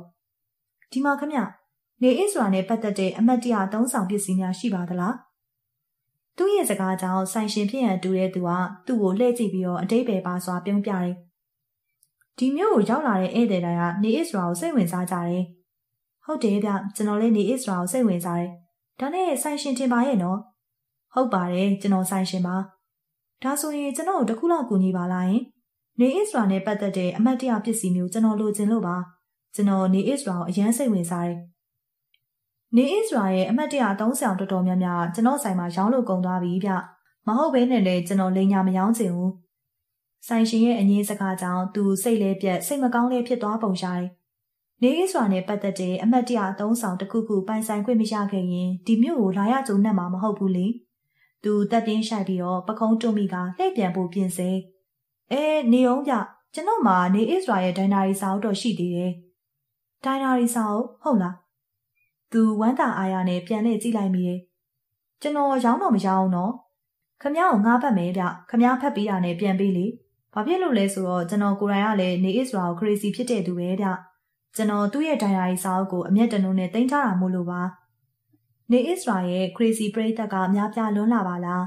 ဘာပဲဖြစ်ဖြစ်နေအစ္စရာရဲ့ဒိုင်ယာရီစာအုပ်ကိုငါဖတ်ခွင့်ရမယ်ဆိုရင်လေဒီရဲ့ခွင့်ရည်ကိုသူလက်လွတ်မခံနိုင်ဘူးဝမ်းသာအားရပဲသူကောင်းငင်ပြမိရဲ့ ဟုတ်ကဲ့အဲ့ဒါဆိုရင်လည်းကျွန်တော်ငါဖတ်ပြစီဗျာမပြန်ခင်အပြီးဖတ်ပြီးတော့ပြန်ပေးပါမယ်โอเคလေโอเคခမရဲ့ဥပဒေကိုကြည့်ပြီးတော့ယုံကြည်လို့ကျွန်တော်ငားလိုက်ပါမယ်ခဏနော်ဆိုင်ရှင်ကသူ့ကိုလက်ကပြပြီးတော့ဆိုင်တွင်းဘက်ကိုဝင်သွားတော့တယ်ဆိုင်ရှင်ပြန်ထွက်လာတော့ဟောင်းနှမ်းလာပြီဖြစ်ပေမဲ့တက်ရက်ဆဲဖြစ်တဲ့စာအုပ်တအုပ်လက်ထဲပါလာတယ်စာအုပ်ကကျွန်တော်ထက်အသက်ကြီးရဲ့ခမရိုးရိုးတည်တည်ဂိုင်းမဖြစ်မယ်နော်ဧည့်သည်စိတ်ချပါဗျာကျွန်တော်ဒီစာအုပ်ကိုချစ်သူထက်တောင်ပုံမျက်နှုံးပါပါ သူနဲ့ဆိုင်ရှင်အမတ်မတင်ရီမောလိုက်မိကြတယ်သူနေအစ္စရာရဲ့ဒနာကြီးကိုချစ်သူရဲ့ပါးပြင်လို့ဖွားဖွားကလေးပုတ်သက်ကြည့်လိုက်မိရဲ့စာရွက်တွေကဝါကျင့်ဟောင်းနှမ်းလာပြီ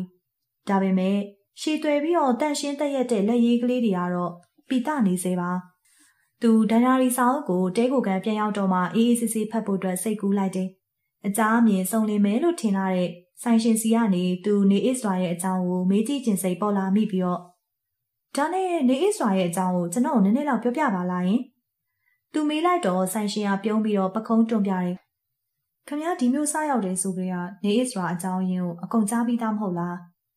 ဟွန်းဟုတ်ပါတယ်ခမရပြောတာကြားချင်လို့ပါသူထပ်ပြီးတော့တောင်းဆိုလိုက်တော့မှဆိုင်ရှင်ကဆွေးမြေ့စွာပြောရင်းနဲ့တိုးညင်းတဲ့လေတံနဲ့နေအစ္စရာရဲ့ဒဏ္ဍာရီကိုစတင်ပြောတော့တယ်ဒီလိုလေသူ့ရဲ့ခင်မို့စစ်တဲလိုက်သွားရတော့မသွားခင်မှာသူတို့ဇနီးမောင်နှံနှစ်ယောက်ကဂတိတစ်ခုထားခဲ့ကြတယ် တဲခုကန်ပိုင်ရှင်စီကသူကြားခဲ့ပြီးသားဖြစ်ပေမဲ့စကားမထောက်ပဲနဲ့သူငြိမ်သက်တိတ်ဆိတ်စွာနဲ့နားထောင်နေမိတယ်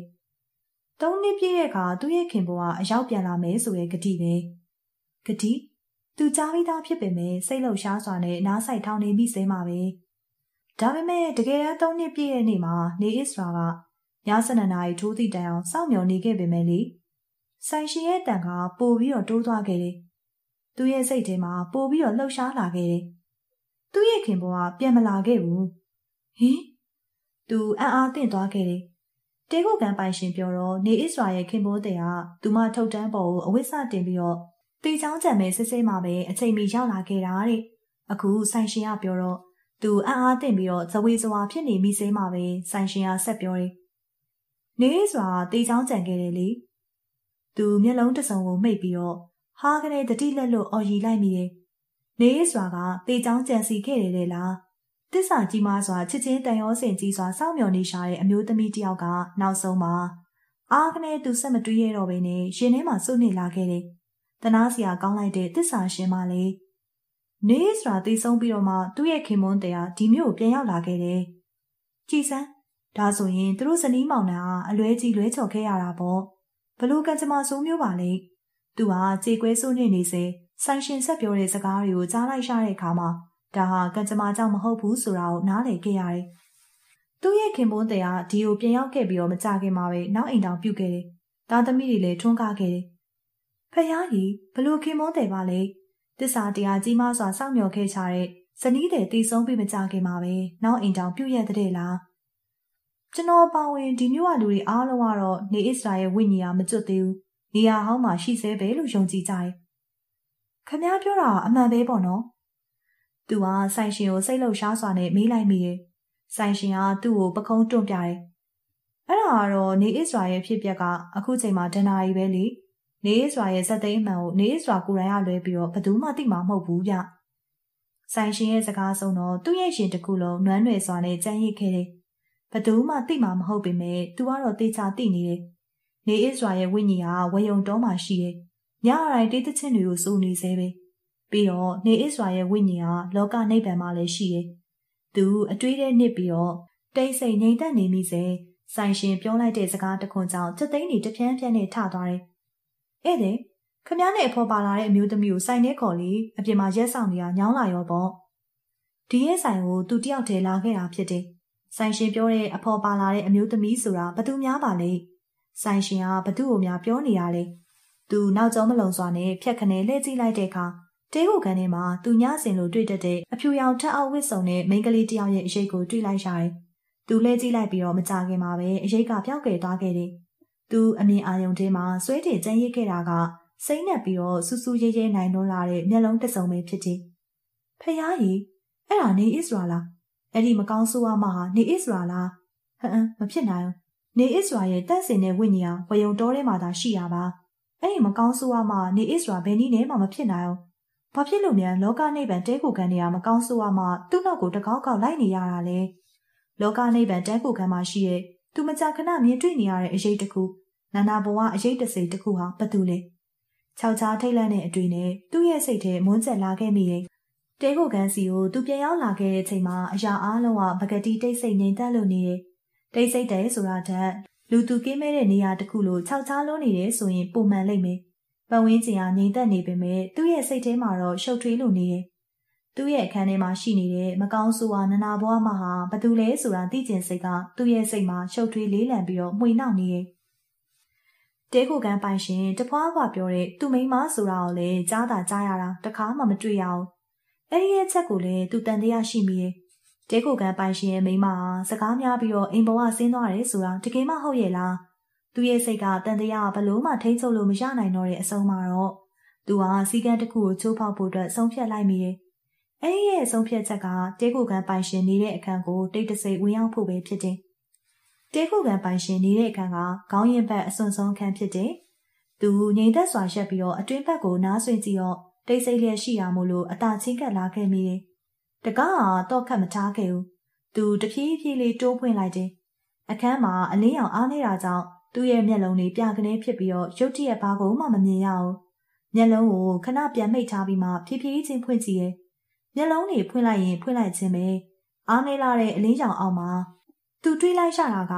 မျက်နှာကိုပေါ်ဝါအုပ်ထားတဲ့ပလတ်စတာရုပ်ထုတစ်ခု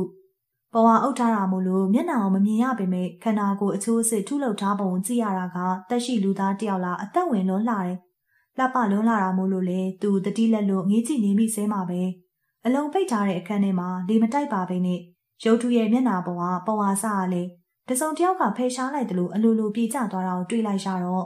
သူစပင်မွေးညင်းနေထောင်ထသွားတယ်။အဲဒီနောက်သူမြင်လိုက်ရတာကပြမျိုးမဲ့မတင်လှပလွန်းလာတဲ့မျက်နှာတစ်ခု။ သူတတိလက်လို့ငေးဆိုင်ကြည့်နေမိရင်ကစက်သိန်းတွေတပြန်းပြန်းနဲ့ထလာခဲ့ကအနီးမှာရှိရဲ့အပေါ်ထက်ကိုတက်တဲ့လေကားပေါ်ကိုအမြန်တက်ခဲ့မိတော့တယ်။ထက်ကိုပေါ်မှာပစ္စည်းများများဆဆမရှိဘဲနဲ့တဲ့ရဲ့ရှင်းတန့်လို့နေတယ်။စင်ပေါ်မှာစာအုပ်တအုပ်တွေ့ရတာမို့လို့သူလှမ်းယူပြီးတော့ဖွင့်ကြည့်လိုက်မိရဲ့။ဟင်အာမေရိတ်တန်ထွက်သွားမိတဲ့အထိကိုသူအရန်ကိုအံ့ဩသင့်သွားတယ်။နှုတ်စာအုပ်ပြီးတော့တချင်းစာသားတွေရေးထားတဲ့စာအုပ်စာအုပ်ပေါ်မှာအောင်ခန်းလို့ရေးထားတယ် ဒါဆိုတဲကိုကန်ပိုင်ရှင်လူကြီးဟာတေးကြီးစရာတယောက်ပေါ့ဟာစိတ်ရှုပ်ထွေးစွာသူမတက်မတာညီးလိုက်မိတယ်ကြည်စံဘလောက်များလှိဝက်ပြီးလိုက်တဲ့လူလဲသူ့ကိုနိုင်ငံကျော်အဆိုတော်တယောက်ဖြစ်တဖွာဖွာနဲ့ချီးကျူးနေသလားသူကိုယ်တိုင်ဟာစာရေးဆရာတယောက်ဆိုတာတော့လှိဝက်စွာဖုံးကွယ်ခဲ့တယ်ဒီလူကြီးပေါ်သူမတင်တာဖြစ်ခဲ့တာစတွေ့ကြရမျက်မှောင်ကိုကြုံပြီးတော့တကန်းလုံးကိုဝေဝဲကြည့်လိုက်မိတဲ့အခါဇပွဲပေါ်မှာပြီးတော့စင်တွေပေါ်မှာ အဲ့ဒီလူကြီးနဲ့အမျိုးသမီးတယောက်တွဲရိုက်ထားတဲ့ဓာတ်ပုံကိုတွေ့ရတယ်။အဲ့ဒီလူကြီးရဲ့အမျိုးသမီးလား။အမျိုးသမီးကငယ်ရွယ်နုပြိုပြီးတော့ချောမော်လွန်းလာတယ်။လူကြီးနဲ့မှနည်းနည်းလေးမှမလိုက်ဖက်လောက်။ပြီးတော့သူတို့နှစ်ယောက်ကအနှဲငယ်မှအသက်ဝင်ခြင်းလည်းမရှိဘူး။သူဓာတ်ပုံကိုကြည့်ရင်ကနေတန်တရားစိတ်တွေရုံးကြလာခဲ့ပြီးတော့ဖွင့်ထားတဲ့ကွန်ပျူတာစီကိုရှောက်လာခဲ့မိရဲ့။သူစိတ်ပြက်လက်ပြက်စုပ်တက်လိုက်မိရဲ့။ထင်ထားတဲ့အတိုင်းပဲ ဓာတ်ပုံတွေကတဲကိုကန်ပိုင်ရှင်နဲ့တခြားအမျိုးသမီးတယောက်ကိုပြုပြင်ပြီးတော့တွဲထားတာဖြစ်နေရင်တယောက်စီတည်တန့်ရိုက်ထားတဲ့ပုံနှစ်ခုကိုစုံတွဲဖြစ်အောင်လို့ပြုပြင်ထားတာကိုသိသားစေတဲ့မူလပုံတွေကိုကွန်ပျူတာပေါ်မှာတွေ့လိုက်ရခြင်းပဲဖြစ်တယ်။ဒါဆိုရင်တဲကိုကန်ပိုင်ရှင်မှာမိမမရှိတာသိကြပြီ။ပြီးတော့လောကနိဗ္ဗာန်မှာသူမကြာခဏမြင်တွေ့နေရတဲ့နာနာဘဝမှာလည်းသူတန်တရားရှိနေတယ်လို့တဲကိုကန်ပိုင်ရှင်ရဲ့မိမမဟုတ်နိုင်ဘူး။သူဘာကိုမှစဉ်းစားမရနိုင်တော့ပဲမျက်မှောင်ကျုံပြီးတော့ ထက်ကိုးပေါ်ကနေဆင်းဖို့အတွက်ပြင်စေတဲကိုကန်ပိုင်ရှင်ရဲ့နှုတ်တွေတချင်းရေးထားတဲ့စာအုပ်တွေကအလိုအလျောက်ဆင်ပေါ်ကနေပြုတ်ကျလာတာကိုတွေ့လိုက်တဲ့အခါသူစက်သိန်းတွေဖြန်းကနေထပြီးတော့လှေကားပေါ်ကနေအမြန်ဆင်းမိရဲ့အဲ့ဒီရဲ့ချိန်မှာပဲခိကနေရီတန်တက်တက်ကိုကြားလိုက်ရှာတာကြောင့်သူ့ရဲ့ခြေလမ်းကြီးတန့်သွားပြီးတော့စက်သိန်းကြီးလည်းတပြန်းပြန်းနဲ့ထသွားရတယ်။ရုပ်ထုစီကိုကြည့်လိုက်ပြီးတော့ခေါင်းကိုချကနေလှည့်ကသူ့ကိုပြန်လှည့်ကြည့်နေအောင်တွေးလိုက်ရှာတဲ့အခါသူခြောက်ချားထိတ်လန့်စွာအော်ရင် အခန်းထဲကနေအမြန်ပြေးထွက်ခဲ့တယ်။သဘောတကျရီမောလိုက်တဲ့ရီတန်တိုးတိုးလေးကသူ့ရဲ့နောက်ကျောမှာကပ်ပါလာခဲ့တယ်။တဲကိုကန်ပိုင်ရှင်ရဲ့အခန်းကနေသူကြောက်လန့်တကြားထွက်ပြေးခဲ့မိသည်မှာဘယ်ရောက်လို့ရောက်မှန်းတော့မသိတော့ဘူး။တကယ်တော့ဥတီရမယ်ခြေလန်းတွေတိုင်းသူထွက်ပြေးခဲ့မိခြင်းသာဖြစ်တယ်။တတိပြန်ဝင်ချိန်မှာသူ့ရဲ့ခြေထောက်တွေကိုမတည်နိုင်အောင်ဖြစ်ပြီးတော့အရန်ကိုမောပန်းလို့နေခဲ့တယ်။ဘယ်ရောက်နေရလဲ။သူအခုဘယ်ရောက်လို့ဘယ်ပေါက်နေရလဲ။ချောက်ချားထိတ်လန့်စွာပဲသူမောကြည့်လိုက်တဲ့အခါ သူ့ရဲ့ပေါ်မှာအုပ်ဆိုင်နေတဲ့ဝေယုံပင်တွေကိုတွေ့လိုက်ရှာတယ်။ဝေယုံတော့ဒါဒါဝေယုံတော့ပဲ။သူတတိလက်လွတ်နဲ့ရေရွတ်လိုက်မိရဲ့။တချင်းကြီးတန်တက်တဲ့လိုင်းရှိုက်တန်သူ့ရဲ့လိုင်းရှိုက်တန်တချင်းကိုစုံကြီးတန်တက်တဲ့ဒါဒီနေရာဟာနေအစ္စရာရဲ့ဝိညာဉ်ခုတွေ့ရပဲ။သူ့ရဲ့ရင်တစ်ခုလုံးခြောက်ချားခြင်းတွေပြည့်နှက်လာတယ်။တုံလုံးထိတ်လန့်စွာပဲသူမောကြည့်လိုက်ပြီးတော့ဝေယုံတော်ကြီးတစ်ခုလုံးကချက်ချလေးနေအောင်တွေးလိုက်ရှာတယ်။ သူလည်းမခံမရက်နိုင်အောင်မူးဝေပြီးတော့နေရာမှာလဲပြိုကျသွားတယ်။ဟာသူလက်ထောက်မိရာမြေပုံကခုလုခုလုစက်ကနေလက်ကိုဖယ်လိုက်ကြည့်တဲ့အခါမြေကြီးထဲမှာတဝက်တစ်ဖြက်ပေါ်ထွက်နေတာကသူ့ရဲ့မျက်လုံးတစ်စုံဟင်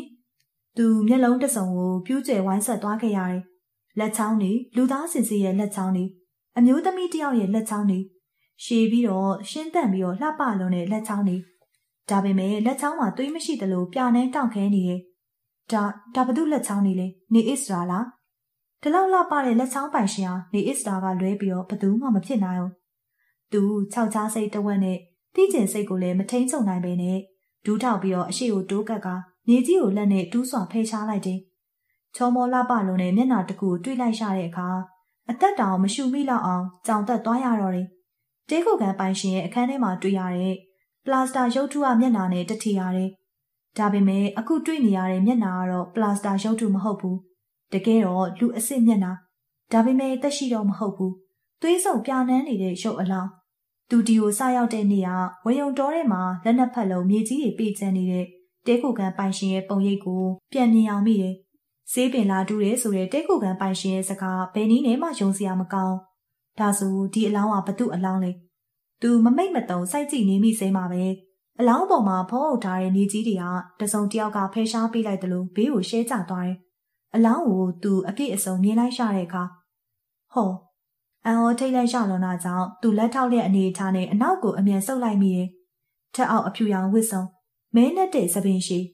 လောကနိဗ္ဗာန်မှာသူမကြာခဏမြင်တွေ့နေရတဲ့အရေးထက်အောက်အဖြူရောင်ဝစ်စုံ မဲနဲ့တဲ့သပင်ရှိတွေနဲ့သူ့ကိုဆူဆူဝါဝါစိုက်ကြည့်နေတတ်တဲ့ပရလောကသားအမျိုးသမီးဟာသူအရန်ကိုဆွဲလန်းရလွန်နဲ့နေအစ်စွာတဲ့လားသူအံ့အားသင့်ပြီးတော့ခြောက်ချားလွန်းစွာနဲ့စိုက်ကြည့်နေမိစေမှာပဲသွေးဆုပ်ပြန်းနှန်းနေတဲ့အလောင်းရဲ့မျက်နှာမှာချက်ချင်းအစိမ်းရောင်ဆူဆူကြီးဖြစ်ပြောင်းလဲသွားခဲ့ပြီးတော့နှကန်းတွေကလည်းခရမ်းပုတ်အယောင်ဖြစ်ပြောင်းလဲသွားခဲ့ကပြာနန်းအေးခဲနေတဲ့လက်ချောင်းတွေကသူ့ရဲ့လက်ကိုဆက်ကနေစုပ်ကင်လာတဲ့အခါအားကနေလက်ကနေထိတ်လန့်သွားရတဲ့ခန်းစားချက်နဲ့အတူ သူအားကုန်អော်ပြီးတော့သူ့ရဲ့လက်ကိုအတင်းပြန်ယုံကဝယုံတော်ရရနေသွေးယူသွေးရန်ပြန်ပြေးထွက်ခဲ့မိတော့တယ်။သွေးယူသွေးရန်ခြေလန်းနေတဲ့ဝယုံတော်ရရနေပြေးထွက်လာခဲ့ပြီးတော့တဲခုကန်ရှိအောင်ကိုပြန်ရောက်တဲ့အခါသူ့ရဲ့အခန်းထဲကိုပြန်မဝင်သေးဘဲနဲ့တဲခုကန်ပိုင်ရှင်ရဲ့အခန်းထဲကိုသာပြန်ရောက်လာခဲ့မိတယ်။တဲခုကန်ပိုင်ရှင်ဘယ်ရောက်နေလဲ။အခန်းထဲမှာလည်းမရှိဝယုံတော်ထဲမှာလည်းမရှိခေါင်းထဲမှာချုပ်ထွေးမူးနောက်ပြီးတော့တုံလို့ခြောက်ချားစိတ်ကိုမထိန်ချုပ်နိုင်တော့တဲ့အစုံမှာ သူဘောင်းမီအိတ်ထရာ secret ဘူးနဲ့မိချစ်ကိုထုတ်ပြီးတော့ secret တလိပ်ကိုမိညိရှိုက်ခွာလိုက်မိရဲ့ secret တဝက်ကျိုးချိန်လောက်ကြာမှသူ့ရဲ့စိတ်တွေအနေပြန်ထိုင်လာခဲ့တယ် secret ကိုကျန်းမြစ်ပေါ်ပြစ်ချပြီးတော့ဖက်နှက်ဦးနဲ့ခြေကသူထက်ခိုးပေါ်ကိုဖြည်းဖြည်းချင်းတက်ခဲ့တယ်အပေါ်ရောက်ရောက်ချင်းပဲသူ့ရဲ့လိုင်းရှိုက်တန်စီဒီဝေါ်ရှိစာရွက်ကိုနေရာမှာကတ်ထားတာကိုတွေ့လိုက်ရတဲ့အခါဟင်သူအံ့အားတင့်သွားရှာပြန်တယ်သူပထမဆုံးဒီခန်းထဲကိုခိုးဝင်ခဲ့စဉ်တော့ဝါရှိစာရွက်မှာရှိမနေခဲ့ဘူး ပြီးတော့ဒီဘက်မှာနေရန်လေသူ့ရဲ့တက်ပုံတွေအပြည့်ဒါဒါဘသူကတ်ထားတာလဲဘယ်တော့မှကတ်ထားတာလဲသူ့ရဲ့မျက်လုံးတစ်စုံပြူးကျဲဝိုင်းဆက်ပြီးတော့အံ့အားတင့်နေရဆဲမှာပဲသူ့ရဲ့လိုင်းရှိုက်တန်တချင်းဆိုတန်ကိုပြပြပြပြကြားလိုက်ရတော့စက်သိန်းကြီးဖြန်းကနေထသွားရပြီးတော့အနောက်ကိုလှည့်ကြည့်လိုက်မိတယ်နေအစ္စရာပုံတူပလတ်စတာရုပ်ထုဟာသူ့ရဲ့နောက်တက်တက်မှာရောက်လို့နေတယ်နေနေအစ္စရာသူတတိလက်လို့ရေရွတ်လိုက်မိတယ်ရုတ်တုရဲ့မျက်လုံးတွေကဖြက်ခနဲပွင့်လာခဲ့တယ်။ ကြောက်စိတ်တွေဟာသူ့ရဲ့ခန္ဓာကိုယ်တစ်ခုလုံးအနှံ့ကိုပြန့်နှံ့သွားခဲ့ရတယ်။ခြောက်ချားလွန်းလားစွာနဲ့သူအောက်ထပ်ကိုဆင်းပြေးဖို့အတွက်ကြိုးစားတဲ့အခါခွက်ခနဲမြေတံတဲ့အတူသူနဲ့ရုတ်တုဟာတိုက်မိပြီးတော့ရုတ်တုရောသူရောကျမ်းပြင်ပေါ်လဲကျသွားခဲ့ရတယ်။ရုတ်တုရဲ့ခေါင်းမှာလဲတိုင်စီကနေပြက်ကျသွားခဲ့ပြီးတော့ပွင့်နေတဲ့မျက်လုံးတွေကသူ့ဘက်စီကိုလိမ့်လာခဲ့တော့သူကြောက်အားလက်အားနဲ့လှိမ့်ရှောင်လိုက်မိရာဂရင်အောက်ခြေအဆက်ကိုရောက်သွားခဲ့ပြီးတော့ဘယ်နည်းနဲ့မှသူထင်မှတ်မထားခဲ့တဲ့ ယုံကြည်နိုင်စရာမကောင်းတဲ့မြင်ကွင်းတစ်ခုကိုဂရင်အောက်မှာကြောက်မက်ဖွယ်မြင်တွေ့လိုက်ရတော့တယ်။ကြောက်မက်ဖွယ်ရာအယိုးစုတစ်ခုဖလန်နဲ့ရှက်အင်းကြီးလက်ရှိနဲ့ခြိချမ်းပေါင်းမီမှာဆွေးမြေ့လျက်ရှိပြီးဒီတဲကိုကန်ပိုင်ရှင်ဥအောင်ခန့်ဝင့်နေကြဝစ်စုံပဲဖြစ်တယ်။ဒါဆိုဒီအလောင်းကသပင်မွေးညင်းနေထောင်ထပြီးတော့သူ့ကောင်းနှပန်ကြီးသွားတယ်။သိကြတာပေါ့။ခေါင်းရင်းမှာကောင်းပိုင်အုပ်ထုံနဲ့ခြေရင်းမှာတော်စီပုဖနက်ရှိ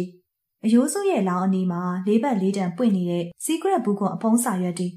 သူစာရွက်တရွက်ကိုတုံရင်သောလက်ချောင်းနေနဲ့မဝိမရေလှမ်းယူကြည့်လိုက်တယ်။နှုတ်ပြည့်ရေးထားတဲ့တချင်းစာရွက်ဖြစ်နေတာကိုတွေ့လိုက်ရတယ်။သူ့ရဲ့ခန္ဓာကိုယ်တစ်ခုလုံးကျဉ်တက်သွားခဲ့ရပြီးတော့ခေါင်းထဲမှာလည်းလျှက်စီးလက်တလို့ဖြစ်သွားခဲ့ရကစာရွက်ကိုကြပြကြရပြန်လွတ်ချလိုက်မိတယ်။ secret ဘူးခွန်စာရွက်နှုတ်နဲ့ရေးထားတဲ့တချင်းလွန်ခဲ့တဲ့နှစ်အနေငယ်စီအောင်အဖြစ်အပျက်တချို့စိတ်ကြွယ်ရမရှိပါလားသူကတင်အောက်ကတဲကိုကန်ပိုင်ရှင်ရဲ့အယိုးစုကိုတက်လက် နှုတ်နဲ့တချင်းစာသားရေးထားတဲ့ secret ဘူးခွန်တွေကိုတက်လက်နေအစ်စာရဲ့ပလာစတာရုပ်ထုကိုတက်လက်ကြည့်ပြီးတော့ဘယ်ကိုထွက်ပြေးပြီးတော့ပုံရှောင်ရမလဲဆိုတာမသိဖြစ်နေရစေမှာသူရှိတက်တဲ့မှာမမကြီးတစုံတယောက်ပေါ်လာတယ်ဟင်ခမထိအားပြီးတော့တစ်ဆို့စွာလက်ညှိုးကြီးထိုးပြီးတော့သူစကားမဆက်နိုင်တော့သူ့ကိုစူးစူးရဲရဲစိုက်ကြည့်နေတဲ့တဲခိုကန်ပိုင်ရှင်တေးရေးစရာဥအောင်ခန့်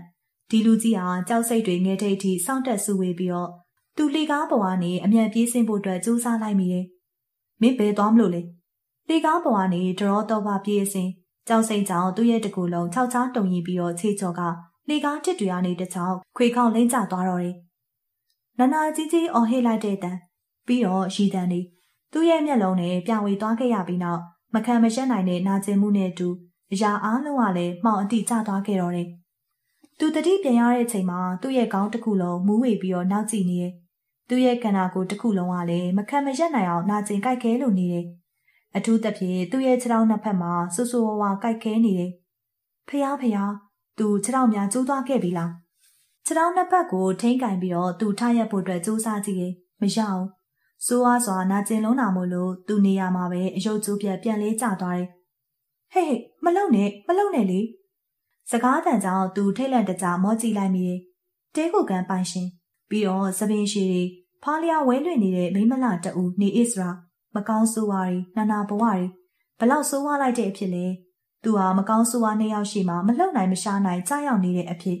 ။လေကားပေါ်ကပြုတ်ကျတဲ့အချိန်ကြောင့်မင်းရှောက်ကအယိုးဘာမှမဖြစ်ပါဘူးမစိုးရိမ်ပါနဲ့။မကောင်းဆိုးဝါးကြီးဟာသူ့ရဲ့ခြေထောက်ကိုတစ်ချက်စိုက်ကြည့်ပြီးတော့အေးဆေးစွာပြောတယ်။နေအောင်ငါမင်းကိုစေးတိုက်မယ်။ မင်းအားလည်းမရှိဘူးမဟုတ်လား။မကောင်းဆိုးဝါးကြီးဟာသူ့ရဲ့ရှိကနေလှည့်ထွက်သွားတယ်။မကောင်းဆိုးဝါးရဲ့လူရဲ့မခွဲခြားတတ်တဲ့တမိုးဟောက်ထဲမှာအတူနေမိတဲ့အဖြစ်ဟာဘလောက်တောင်ခြောက်ခြားတုံလို့ဖို့ကောင်းလိုက်တယ်လေ။အခုချိန်မှာတော့သူဟာတုံလို့ဖို့ထက်ဘာမှလုံးမရနိုင်တော့တဲ့အခြေအနေမို့လို့ထူပူအန်းထုံလို့သာနေမိတော့တယ်။မကောင်းဆိုးဝါးကြီးသူ့ရဲ့ရှိကိုပြန်ရောက်လာတဲ့အခါနေရဲဆေးပစ်ပြီးတော့ညှိဟောက်နေတဲ့အရေးတွေထည့်ထားတဲ့ပကံလုံးတစ်လုံးပါလာတယ်။ကဲဆေးတောက်ရအောင်ချတိတ်။မတောက်ဘူး။ သူအော်ဟစ်ငင်းဆန်လိုက်တယ်။သွေးတွေလေသူယွန်ချာဆက်စုပ်လုံးတာကြောင့်လေချောင်းတစ်လျှောက်မှာပြုတ်တက်လာမိရဲ့။လိမ္မာပါတဲ့ချာတိတ်ဟာတောက်လိုက်စမ်းပါဒီဆေးတစ်ခွက်ကုန်တာနဲ့မင်းချက်ချင်းအားရည်နေပြန်တက်လာပြီးတော့ခြေထောက်လည်းပြန်ကောင်းသွားလိမ့်မယ်။မတောက်ဘူး။သူနောက်ထပ်တခွန်ထပ်អော်လိုက်တယ်။တေးချင်းတေးသွားပလေစီလေဒီလောက်ညှိဟောက်ပြီးတော့ရဲတောင်နေတဲ့အော်ကလီဆန်ဖွယ်ရာသွေးရည်တွေကိုမတောက်နိုင်ဘူးမကောင်းဆိုးဝါးရာပကံလုံးကိုကင်ပြီးတော့သူ့ရဲ့အနာတိုးလာတဲ့အခါ သူပါဇက်ကိုတင်းတင်းစိတ်ထားမိတယ်သူ့ရဲ့ပါဇက်တွေကိုအတင်းလောင်းထဲလိုက်မယ်လို့ထင်ထားခဲ့ပေမဲ့မကောင်းဆိုးဝါးရာသူ့ကိုကြည့်ပြီးတော့ဟက်ခနဲ့တစ်ချက်ရှိကအတော်မိုက်တဲ့တရားလေးပဲပကံလုံးကိုကင်ပြီးတော့မကောင်းဆိုးဝါးရာပြန်လှည့်ထွက်သွားတော့မှသူတက်ပြင်းချနိုင်တယ်ဒါပေမဲ့တိတ်မကြဘူးသူ့အတွက်အသက်ရှူတော်မရှူဝင့်စရာဖြစ်ကရောက်လာခဲ့တယ်။အေရှင်ဟာလေတိုင်ကနေပြီးတော့ပြုတ်ကျလဲပြူနေတဲ့နေအစ္စရာရဲ့ပုံတူပလာစတာရုပ်ထုကိုကြည့်ပြီးတော့ ငါတပင်တပန်းကိုယ်တိုင်လုပ်ခဲ့တဲ့အယုတ်ကိုမင်းဖြက်စီးပစ်လိုက်တယ်ပေါ့ဟုတ်လားလင်းရောသူ့ကိုစိုက်ကြည့်ပြီးတော့မေးလိုက်တယ်မကောင်းဆိုးဝါးရဲ့မျက်လုံးတွေကမီလီယံနေထပြီးတော့မိသားတောက်တော့မလို့နေရဲနေရဲကျွန်တော်မတော်တဆတိုက်မိဘာမတော်တဆဟုတ်လားမင်းနမောနမဲ့နိုင်လို့ဖြစ်ရတာဒီရုပ်ကနည်းနည်းရရမှတ်တလားအဲ့ဒါနေအစ္စရာရဲ့ပုံစံရုပ်တူကွာအဲ့ဒီရုပ်ထဲမှာနေအစ္စရာရဲ့အသက်ရှိတယ် နေအစ္စရာရဲ့ဝိညာဉ်ရှိတယ်အဲ့ဒါမင်းသိလားဟမ်မကောင်းဆိုးဝါးရဲ့မျက်နှာဒေါသကြောင့်မိဟက်နေတယ်လို့နေရဲနေရဲ့ကြောင်မက်ဖွယ်ရကောင်းလာတဲ့မျက်နှာကြီးကိုသူတေချာမကြည့်ရဲတာကြောင့်ခေါင်းငုံထားမိရဲ့နေနေအစ္စရာအသက်မှမရှိတော့ပဲဘာဘာပြောတယ်ချာတိတ်နေအစ္စရာဘာလို့အသက်မရှိရမှာလဲနေအစ္စရာရှိသေးတယ်အခုချိန်ထိရှိသေးတယ်မင်းမှတ်ထားမြဲမြဲမှတ်ထားလင်းရောအမှုပညာသမားတယောက်ကဘယ်တော့မှမသေးဆုံး ကဘာပြတ်သုံးသည့်တိုင်အောင်ထာဝရရှင်တန်နေအဲ့ဒါမင်းမင်းမှတ်ထားမကောင်းဆိုးဝါးရဲ့ဒေါသတကြီးအော်ဟစ်နေတဲ့အတန်ဟာတခန်းလုံးကိုဟိမ့်လို့နေတယ်အမှုပညာသမားဆိုတဲ့စကားကြောင့်သူကောင်းကိုပို့ပြီးတော့ငိုက်ဆိုင်ချလိုက်မိတယ်။ "तू ရောအမှုပညာသမားစိတ်ရဲ့လား။အဲ့ဒီရဲ့မိကွန်ကို तू သိချစွာမဖြေနိုင်အောင်။နေအစ္စရာရဲ့ပုံတူအယုတ်ဟာငါနှစ်ပေါင်းများစွာထုလုပ်ခဲ့ရတာ။ငါအသက်တက်ပို့ပြီးတော့မျက်နှိုးတယ်ဆိုတာမင်းသိလား။ဒီမှာကြည့်စမ်း။ သူ့ရဲ့နားကိုကပ်ပြီးတော့ဟိန်းကနေអော်လိုက်တာကြောင့်ကောင်းငိုက်ဆိုင်ချထားရကနေမကောင်းဆိုးဝါးကြီးကိုသူ့အထိတ်တလန့်နဲ့မောကြည့်လိုက်မိရဲ့။တွေ့လား။ငါရဲ့လက်တွေကိုတွေ့လားဟောဒီလက်တရားတချင်းရေးခဲ့တာနေအစွာရဲ့ပုံတူကိုထုလုပ်ခဲ့တာအနုပညာသမားရဲ့လက်ချောင်းတွေကိုမြင်ဘူးအောင်ကြည့်ထားမကောင်းဆိုးဝါးရာသူ့ရဲ့ရှေ့မှာလက်ပွားပြင်ကြီးကိုထောင်ပြတယ်။ ဘာလက္ခဏာအရေးအကြောင်းမှမရှိဘဲနဲ့ပြနန်းနန်းလက်ဝါးပြင်ကြီးကိုမြင်လိုက်ရှာတော့သူ့ရဲ့အသေးလေးအေးကနေဖြစ်ပြီးတော့ကြပြကြရအကြည့်လွှဲလိုက်မိတယ်။ပြောစမ်းလင်းရောမင်းတချင်းတစ်ပုတ်ဆက်ဘူးလား။အနုပညာမြောက်တဲ့တချင်းတစ်ပုတ်ကိုကိုယ်တိုင်ဆက်ဘူးလား။မင်းရဲ့လက်ချောင်းတွေကဘာမှအတုံးမကျတဲ့လက်ချောင်းတွေပဲဒီမှာကြည့်စမ်းသူ့ရဲ့မျက်စိရှိမှလက်ကနေဖြစ်သွားတာကြောင့်သူတထိတ်တလန့်နဲ့မော့ကြည့်လိုက်မိရင်မြတ်စွာဘုရားတဖြက်ဖြက်လက်နေတဲ့ဓာတ်တစ်ချောင်းသူ့ရဲ့ရင်နဲ့ဆက်ကနေခါသွားရစေ မကောင်းဆိုးဝါးရာသူ့ရဲ့မျက်နှာနာကိုငုံပြီးတော့စပွဲပေါ်တင်ထားတဲ့သူ့ရဲ့လက်ချောင်းတွေပေါ်ကိုဓာတ်တွေနဲ့ထိလူထိခင်ဖြက်ဆွဲကဒါဂီတကိုဖန်တီးတဲ့လက်ချောင်းတွေရဲ့လားဟမ်ကနဝင်မြောက်တဲ့တချင်းတွေကိုရေးတဲ့လက်ချောင်းတွေရဲ့လားအေးဆက်တဲ့ဓာတ်သွားနဲ့ဖြက်ခံရတဲ့သူ့ရဲ့လက်ချောင်းတွေကတစမ်းဆက်နဲ့တုံသွားတယ်မကောင်းဆိုးဝါးကြီးသူ့ရဲ့လက်ချောင်းတွေကိုဓာတ်နဲ့ဖြတ်မှလားတလက်လက်တောက်ပနေတဲ့ဓာတ်တော်ကိုကြည့်ပြီးတော့သူ့ရဲ့ရှင်တွေတလက်လက်ခါလာတယ်မိနေတဲ့ဓာတ်တော်တစက်ဆက်တုံရီနေတဲ့လက်ချောင်းတွေ ချောက်ချားစိတ်နဲ့အတူသူ့ရဲ့ရှင်တွေရင်ကျုံးမြစိတ်ကလိုက်တက်လာခဲ့တယ်မကောင်းဆိုးဝါးတကောင်ရဲ့လက်ထဲမှာခုခံနိုင်စွမ်းကင်းမဲ့စွာနဲ့လဲစင်းခံရတော့မယ်ဘဝတစက်ဆက်တုံရီနေတဲ့လက်ချောင်းတွေပေါ်မှာမျက်ရည်တစ်စက်ကပေါက်ခနဲပဲတနာစရာကောင်းလိုက်တဲ့ချတိတ်ဓာတ်ကိုပြန်ရုပ်သိမ်းပြီးတော့မကောင်းဆိုးဝါးကြီးလှည့်ထွက်သွားတယ်။သူမျက်လုံးတစ်စုံကိုမှိတ်ပြီးတော့ဟင်းကနေတက်ပြင်းချလိုက်မိတော့တယ်။မကောင်းဆိုးဝါးနနာဘဝနှစ်ကောင်ရဲ့လက်ထဲမှာနေရခြင်းတက် သူကိုယ်တိုင်ကျူးလွန်မိခဲ့တဲ့အဖြစ်တစ်ခုဟာသူ့ကိုအချိန်တိုင်းမှာမေးလျော့လို့မရအောင်လို့ဖိစီးနှိပ်စက်နေတယ်။ဝေမခံလိုပါဘူး။ဒီရဲ့အဖြစ်ကိုဘသူကိုမှဝေမခံပဲနဲ့သူတယောက်တည်းကြိတ်မိတ်ပြီးတော့ရင်ကုန်နှုတ်ပိတ်နေပေမဲ့တရက်ထက်တရက်သူ့ရဲ့အဖြစ်အတွက်သူ့ဘာသာစိတ်သက်တွေအကြီးအကျယ်ကျဆင်းပြီးတော့မွန်းချက်လို့နေတယ်ဒါပေမဲ့တနေ့မှာတော့မကောင်းဘူးဆိုတာစိတ်ကြွယ်ရမရှိဆိုတဲ့စကားအတိုင်းသူ့ရဲ့အဖြစ်ကိုမဖြစ်မနေဝန်ခံရတော့မယ့်အခြေအနေကိုရောက်ရှိလိုလာတယ်။ ခြေထောက်နှစ်ဖက်လုံးထောက်လို့မရနိုင်တဲ့အခြေအနေမို့လို့မကောင်းဆိုးဝါးရာသူ့ကိုဝီရှင်နဲ့တဲခုကန်ပြင်ကိုနောက်ကနေထုတ်ကခေါ်ထုတ်လာခဲ့တယ်။အပြင်ကိုရောက်ရောက်ချင်းမှာသူတွေးလိုက်ရတဲ့မြင်ကွင်းတစ်ခုကြောင့်အသက်ရှူရက်သွားရတယ်လို့သူ့မှာမျက်လုံးတစ်စုံပြူးကျဲဝိုင်းဆက်ပြီးတော့မှင်သက်သွားရတယ်သူတွေးလိုက်ရတဲ့မြင်ကွင်းဟာတကိုယ်လုံးအနှံ့ပတ်တီးဖြူဖြူတွေနေရာမလက်ရစ်ပတ်ထားတဲ့လူတစ်ယောက်ပတ်တီးမလွတ်တဲ့နေရာဆိုလို့မျက်လုံးနှလုံးစာကွက်ကွက်ကလေးသာဖြစ်တယ်။ဒါပေမဲ့ကြောင်မက်ခြောက်ခြားခြင်းတီးနဲ့ တုံလုံးစာရွေးရှားနေတဲ့မျက်လုံးလေးကိုကြည့်က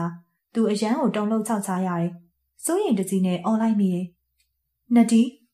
သူခေါ်တဲ့ကြောင်မျက်လုံးကလေးတွေကပို့ပြီးတော့လှုပ်ရှားလာခဲ့တယ်။ဒီမကောင်းဆိုးဝါးမှကြီးနဒီကိုဘာလုပ်ထားတာလဲ။နဒီရဲ့အဖြစ်ကိုကြည့်ပြီးတော့သူ့ရဲ့ရင်ထဲစုနှစ်လို့နေမိတယ်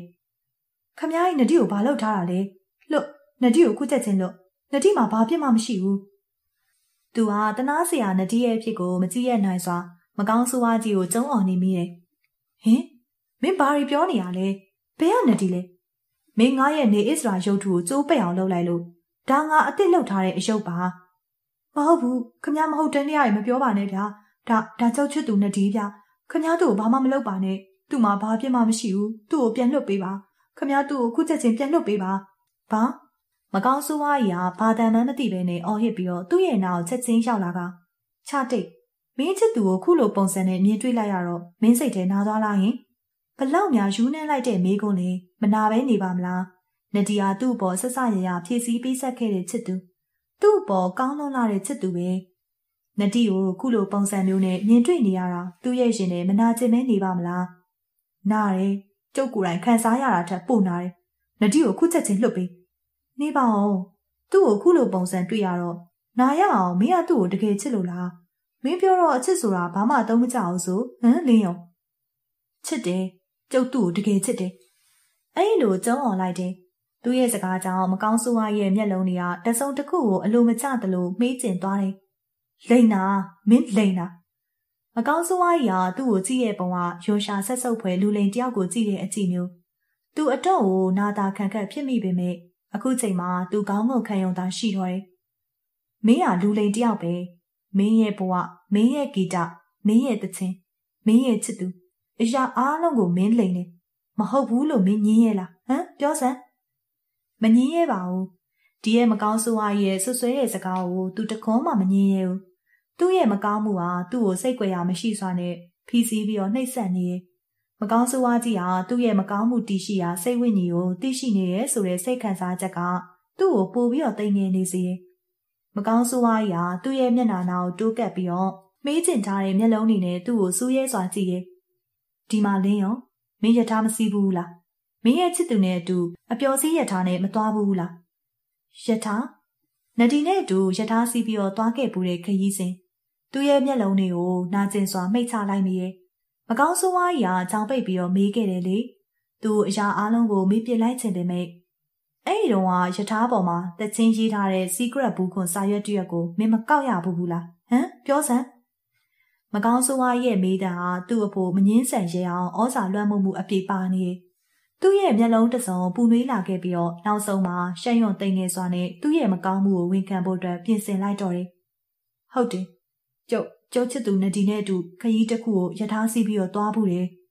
အဲဒီယထာပေါ်မှာနှုံးနဲ့ရေးထားတဲ့သချင်းတစ်ပုဒ်ကိုဟုတ်တယ် secret ဘူးကုံပေါ်မှာရေးထားတဲ့သချင်းစာရွက်ကိုနဒီကောက်တွေ့ပြီးတော့ကျုပ်ကိုပေးခဲ့တယ်ခမည်းဘာသိကျင်သေးလဲပြောစမ်းပါအဲ့ဒါလှိုင်းရှိုက်တံမဟုတ်လားလှိုင်းရှိုက်တံသူ့ရဲ့အအောင်မြင်ဆုံးအကြော်ကြားဆုံးသချင်းရောင်းအားအကောင်းဆုံးတေးစီဒီစူရခဲ့တဲ့တေးစီဒီဒါပေမဲ့သူ့ကိုပျော်ရွှင်မှုမှန်သမျှစိတ်သုံးစေခဲ့တဲ့သချင်းကလည်းလှိုင်းရှိုက်တံပဲဖြစ်တယ်ဟုတ်တယ်လှိုင်းရှိုက်တံပဲအဲ့ဒါလှိုင်းရှိုက်တံအဲ့ဒီရဲ့သချင်းကို secret ဘူးခွန်ပေါ်မှာရေးထားတာ မိရထားပေါ်ကကောက်တွေ့ခဲ့တာအဲ့ဒါကိုကျုပ်ကုန်တိုင်းရေးရဲဆိုပြီးလိန်ပြီးတော့ CD ထုတ်ခဲ့တာဟုတ်ပြီလားဝန်ခံတယ်လေကျုပ်ဝန်ခံတယ်သူကမျက်ရည်တွေတွေ့တွေ့ကြရင်နဲ့ခါးသီးစွာနာကျင်စွာပြောပြီးတော့မှတိမ်ငယ်လွန်းစွာနဲ့အားလုံးကိုဝန်ခံလိုက်မိတယ်မင်းပါလို့ဒီလိုလုပ်ခဲ့တာလေကျုပ်အောင်မြင်ခြင်းလို့ကြော်ကြားခြင်းလို့လေတကယ်တမ်းမှာသူရရှိခဲ့တဲ့အောင်မြင်ကြော်ကြားခြင်းတန်သူ့ရဲ့မယိုးသားမှုကသူ့ကိုထွက်ပြေးပုန်းရှောင်စရာနေရာမရှိအောင်လို့ထိတ်လန့်နှိပ်စက်နေခဲ့တာပဲဖြစ်တယ်။ နေပါအောင်အဲ့ဒီတချင်ကိုခမရေးခဲ့တာလား။တဲခုကန်ပိုင်ရှင်ရဲ့အခန်းထဲကကတင်အောင်မှာတွေ့ခဲ့ရတဲ့အယိုးစုရဲ့နှစ်ပေမှာပြန့်ကျဲနေတဲ့တချင်းတွေရေးထားတဲ့ secret ဘူးခွန်စာရွက်တွေကိုတတိယပြီးတော့မကောင်းဆိုးဝါးကြီးကိုသူတုံလို့စွာနဲ့မေးလိုက်မိတယ်။ဟုတ်တယ်။လိုင်းရှိုက်တန်တချင်းကိုငါရေးခဲ့တာခရီးသွားရင်ယထာပေါ်မှာ secret ဘူးခွန်စာရွက်ပေါ်မှာရေးခဲ့တာအဲ့ဒီစာရွက်ကယထာပေါ်မှာပဲပျောက်ကျကျန်ခဲ့တာသွားပြီလေသွားပြီပေါ့ လိုင်းရှိုက်တန်ရဲ့မူလပိုင်ရှင်ဟာမကောင်းဆိုးအားကြီးပေါ့လိုင်းရှိုက်တန်ကနည်းနည်းရရမဟုတ်ဘူးငါနှလုံးသွေးနဲ့ရင်းပြီးတော့ရေးခဲ့ရတဲ့တခြင်းလိုင်းရှိုက်တန်မှာရာဇဝင်ရှိတယ်အဲ့ဒါကိုမင်းမသိဘူးမဟုတ်လားမကောင်းဆိုးဝါးရာသူ့ရဲ့မျက်နှာကိုတတိချာချာစိုက်ကြည့်ပြီးတော့ဒေတန်ကိုကြောက်မက်ဖွယ်ရာအရှာတဲ့အတန်နဲ့တူတူကလေးဆက်ပြောတယ်ငါဟာနေအစ္စရာကိုဆွဲလန်းလို့လို့တရေချောက်ပါတယ်ဆိုပြီးဘသူမှမနေရတဲ့လောကနိဗ္ဗာန်ကိုရှိသမျှစည်းစိမ်ပုံအောပြီးတော့ဝေယူခဲ့တယ်။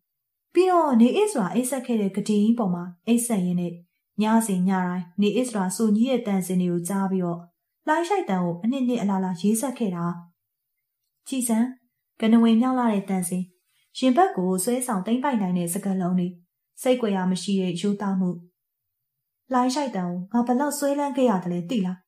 ငါဟာတေဆုံးတာတော့လိုင်းရှိုက်တန်ကိုမမေ့နိုင်တဲ့အထိပဲ အဲ့ဒီအချိန်မှာမင်းကတော့ငါရဲ့နေအစ္စရာရဲ့အုံနောက်နဲ့နှလုံးသားကိုခိုးယူဖောက်စားပြီးတော့အရန်အောင်မြင်ခဲ့တယ်အရန်ကိုကြော်ကြားခဲ့တယ်လေမင်းရောငါတို့အရန်မုန်းနေလင်းရောမင်းရဲ့မယိုးသားမှုမင်းရဲ့မိုက်မဲမှုငါတို့ဘယ်နည်းနဲ့မှခွင့်မလွတ်နိုင်အဲ့ဒါကြောင့်မင်းကိုဒီကိုမရောက်ရအောင်ငါတို့ခေါ်ခဲ့တာပဲဘာအံ့အားသင့်ပြီးတော့တုံလို့ခြောက်ချားရလောနာကြောင့်သူ့ရဲ့အတန်ကြီးအော်ဟစ်လိုက်မိရဲ့သူသူဟာမကောင်းဆိုးဝါးနှစ်ယောက်ရဲ့တိမ့်သွင်းမှုထောင်ချောက်တိုင်းမျောပါလာခဲ့ရပါလား မကောင်းဆိုးဝါးနှစ်ယောက်ရဲ့လက်ကွက်ထဲမှာလေစင်ပေးလိုက်ရတော့မှလားခြောက်ချားထိတ်လန့်ရလောနာကြောင့်သူ့ရဲ့အသားတွေတစမ်းဆက်တုံရင်လာခဲ့ပြီးတော့သွေးယူသွေးရန်ဖြစ်လာကပြန်ယူပါကျုပ်ခမားစီကခိုးယူခဲ့တဲ့အောင်မြင်မှုတွေကြော်ကြားမှုတွေအားလုံးကိုခမားပြန်ယူပါဥအောင်ခန့်အခုချိန်မှာကျုပ်ဘာမှမလိုချင်တော့ဘူးခမားအားလုံးကိုပြန်ယူလိုင်းရှိုက်တာခမားရေးခဲ့တဲ့တခြင်းဆိုတာကျုပ်အားလုံးသိအောင်ဝန်ခံပေးပါမယ်သူ့ရဲ့စကားကြောင့်မကောင်းဆိုးဝါးရဲ့စူးဝါးနီးရဲနေတဲ့မျက်လုံးတွေကစိန်ကနေထထောက်သွားခဲ့ပြီးတော့ စူးစူးဝါးဝါတစ်ချက်អော်လိုက်ရင်ဟာငါအတွက်အရန်နောက်ကျနေပြီငါဘာလုပ်ကြတော့မှလဲကျောင်းမဖွယ်ကအတန်နဲ့ကြီးနဲ့တူမကောင်းဆိုးဝါးရဲ့လက်ထဲမှာလက်ခနဲ့ထထောက်သွားတဲ့အရာတစ်ခုသူစိန်ကနေကြောင်ရွံ့စွာစူဝေစောက်တက်ကကြည့်လိုက်ပြီးတော့အတော်မြင့်နေတဲ့ရဲချင်းတစ်လက်ခခခမညာခြောက်ချားစိတ်ကြောင့်သူ့ရဲ့စကားတွေအထစ်ထင်ငုံငုံဖြစ်ကရှေ့မဆက်နိုင်ဘူးသူအတင်းကိုရုံးကန်တော့ခြိထားတဲ့ကျိုးတွေကပိုပြီးတော့မှမြဲမြံလာသလိုခံစားလိုက်ရတယ်။ ဘာမှလှုပ်ရှားမရနိုင်တော့တဲ့အခြေအနေမှာမကောင်းဆိုးဝါးနှကောင်ရဲ့လက်ထဲကြာရောက်နေရတဲ့သူ့ရဲ့ဖြစ်ကိုရင်ကျိုးမရနိုင်စွာခါးသီးနေမိတယ်။ကျောင်းမက်ဖွယ်ရာရှိတန်းကြီးကမကောင်းဆိုးဝါးစီကနေထွက်ပေါ်လာတယ်။ခြောက်ချားလုံးလာတာကြောင့်သူ့ရဲ့အသေးတွေတလန်းလက်ခါပြီးတော့အေးဆက်လာတယ်။မကောင်းဆိုးဝါးကြီးကကျောင်းမက်ခြောက်ချားဖွယ်ရာရှိတန်းကြီးနဲ့အတူတလန်းလက်ထနေတဲ့ရဲတင်းကိုကင်မြောက်ပြီးတော့နတိစီကိုတရွေ့ရွေ့နဲ့တိုးကပ်သွားတယ်။မလောက်ပါနဲ့ နဒီကိုမလောက်ပါနဲ့နဒီမှာဘာပြစ်မှမရှိပါဘူးကျုပ်မှသာပြစ်ရှိတာပါကျုပ်ကျုပ်တောင်းပန်ပါတယ်နောက်ကိုကျုပ်ဘယ်တော့မှမလိန်ညာတော့ပါဘူးကတိပေးပါတယ်ဗျာဘသူတချင်းကိုမှမခိုးယူတော့ပါဘူးကျုပ်ကျုပ်တောင်းပန်ပါတယ်ဗျာသူရဲ့ရှိုက်ကြီးတငင်ငိုကြွေးရင်းနဲ့ချီနှောင်ထားတဲ့ကြိုးတွေကိုအတင်းရှုံးကန်ပြီးတော့အော်ဟစ်တောင်းပန်နေမိစိမ့်ပါပဲဒုက္ခနဲ့အတန်ကျိန်နဲ့တူနတိရဲ့ကောင်မှာရဲတင်သွားတာကြောင့်လွင့်ကနေပဲသူကတော့အားကနေပဲသွေးယူသွေးတဲ့နဲ့အော်ဟစ်လိုက်မိတော့တယ်ဟာဟာ အရန်လန့်သွားလားရှာတိတ်မင်းရဲ့မျက်လုံးလည်းဖွင့်ကြည့်စမ်းပါအောင်ကွာခမကြီးသူကရင်ကျိုးမရတဲ့စိတ်ကြေကွဲစိတ်ခါသီးမုန်းတီးတဲ့ဒေါသစိတ်နဲ့အတူမကောင်းဆိုးဝါးကြီးကိုမော့ကြည့်လိုက်တယ်ဟိုမှာကြည့်လိုက်ပါဦးမကောင်းဆိုးဝါးကြီးကမြေပြင်တနေရာစီကိုလက်ညှိုးညွှန်ပြတယ်ဟင်သူအံ့ဩလို့မကအံ့ဩသွားရပြန်တယ်မြေပြင်ပေါ်မှာလဲကျနေတဲ့တစ်ကိုင်းချောက်တစ်ခုနတီနတီဘယ်မှာလဲနတီရော မင်းကောင်မလေးကဘယ်တော့မှဒီကိုရောက်မလာခဲ့ပါဘူးအံ့ဩစိတ်နဲ့တူသူအရန်ကိုပေါ်ပါရှင်လန်းသွားရတော့တယ်နတီတီကိုရောက်မလာခဲ့ဘူးပေါ့တော်ပါသေးရဲ့သူလေးပူတွေကိုမှုတ်ထုတ်လိုက်မိတယ်မကောင်းဆိုးဝါးကြီးနဲ့နေအစ်စွာကစိတ်နဲ့အေးခဲလာတဲ့မျက်လုံးတွေနဲ့သူ့ရဲ့မျက်နှာနာကိုတိုးကပ်ပြီးတော့စိုက်ကြည့်တာမင်းကိုစုံမခြင်းလို့ငါတို့ချောက်လန့်ခြင်းုံတက်တက်ပါမင်းသိထားဖို့ကလေ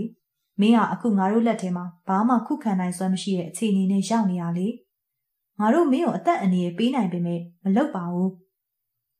ကျေးဇူးတင်ပါတယ်မင်းခုနကပေးထားတဲ့ဂတိကိုတော့တည်ပါစေဒီကနေပြန်သွားပြီးရင်ကိုနှလုံးသားတွေကကိုပိုင်အမှုပညာစစ်စစ်ကိုသာရိုးသားဖန်တီးပါဟုတ်ဟုတ်ကဲ့ကျုပ်ဂတိပေးပါတယ်အေးမင်းအရန်ပင်ပန်းနေပြီအိတ်လိုက်တော့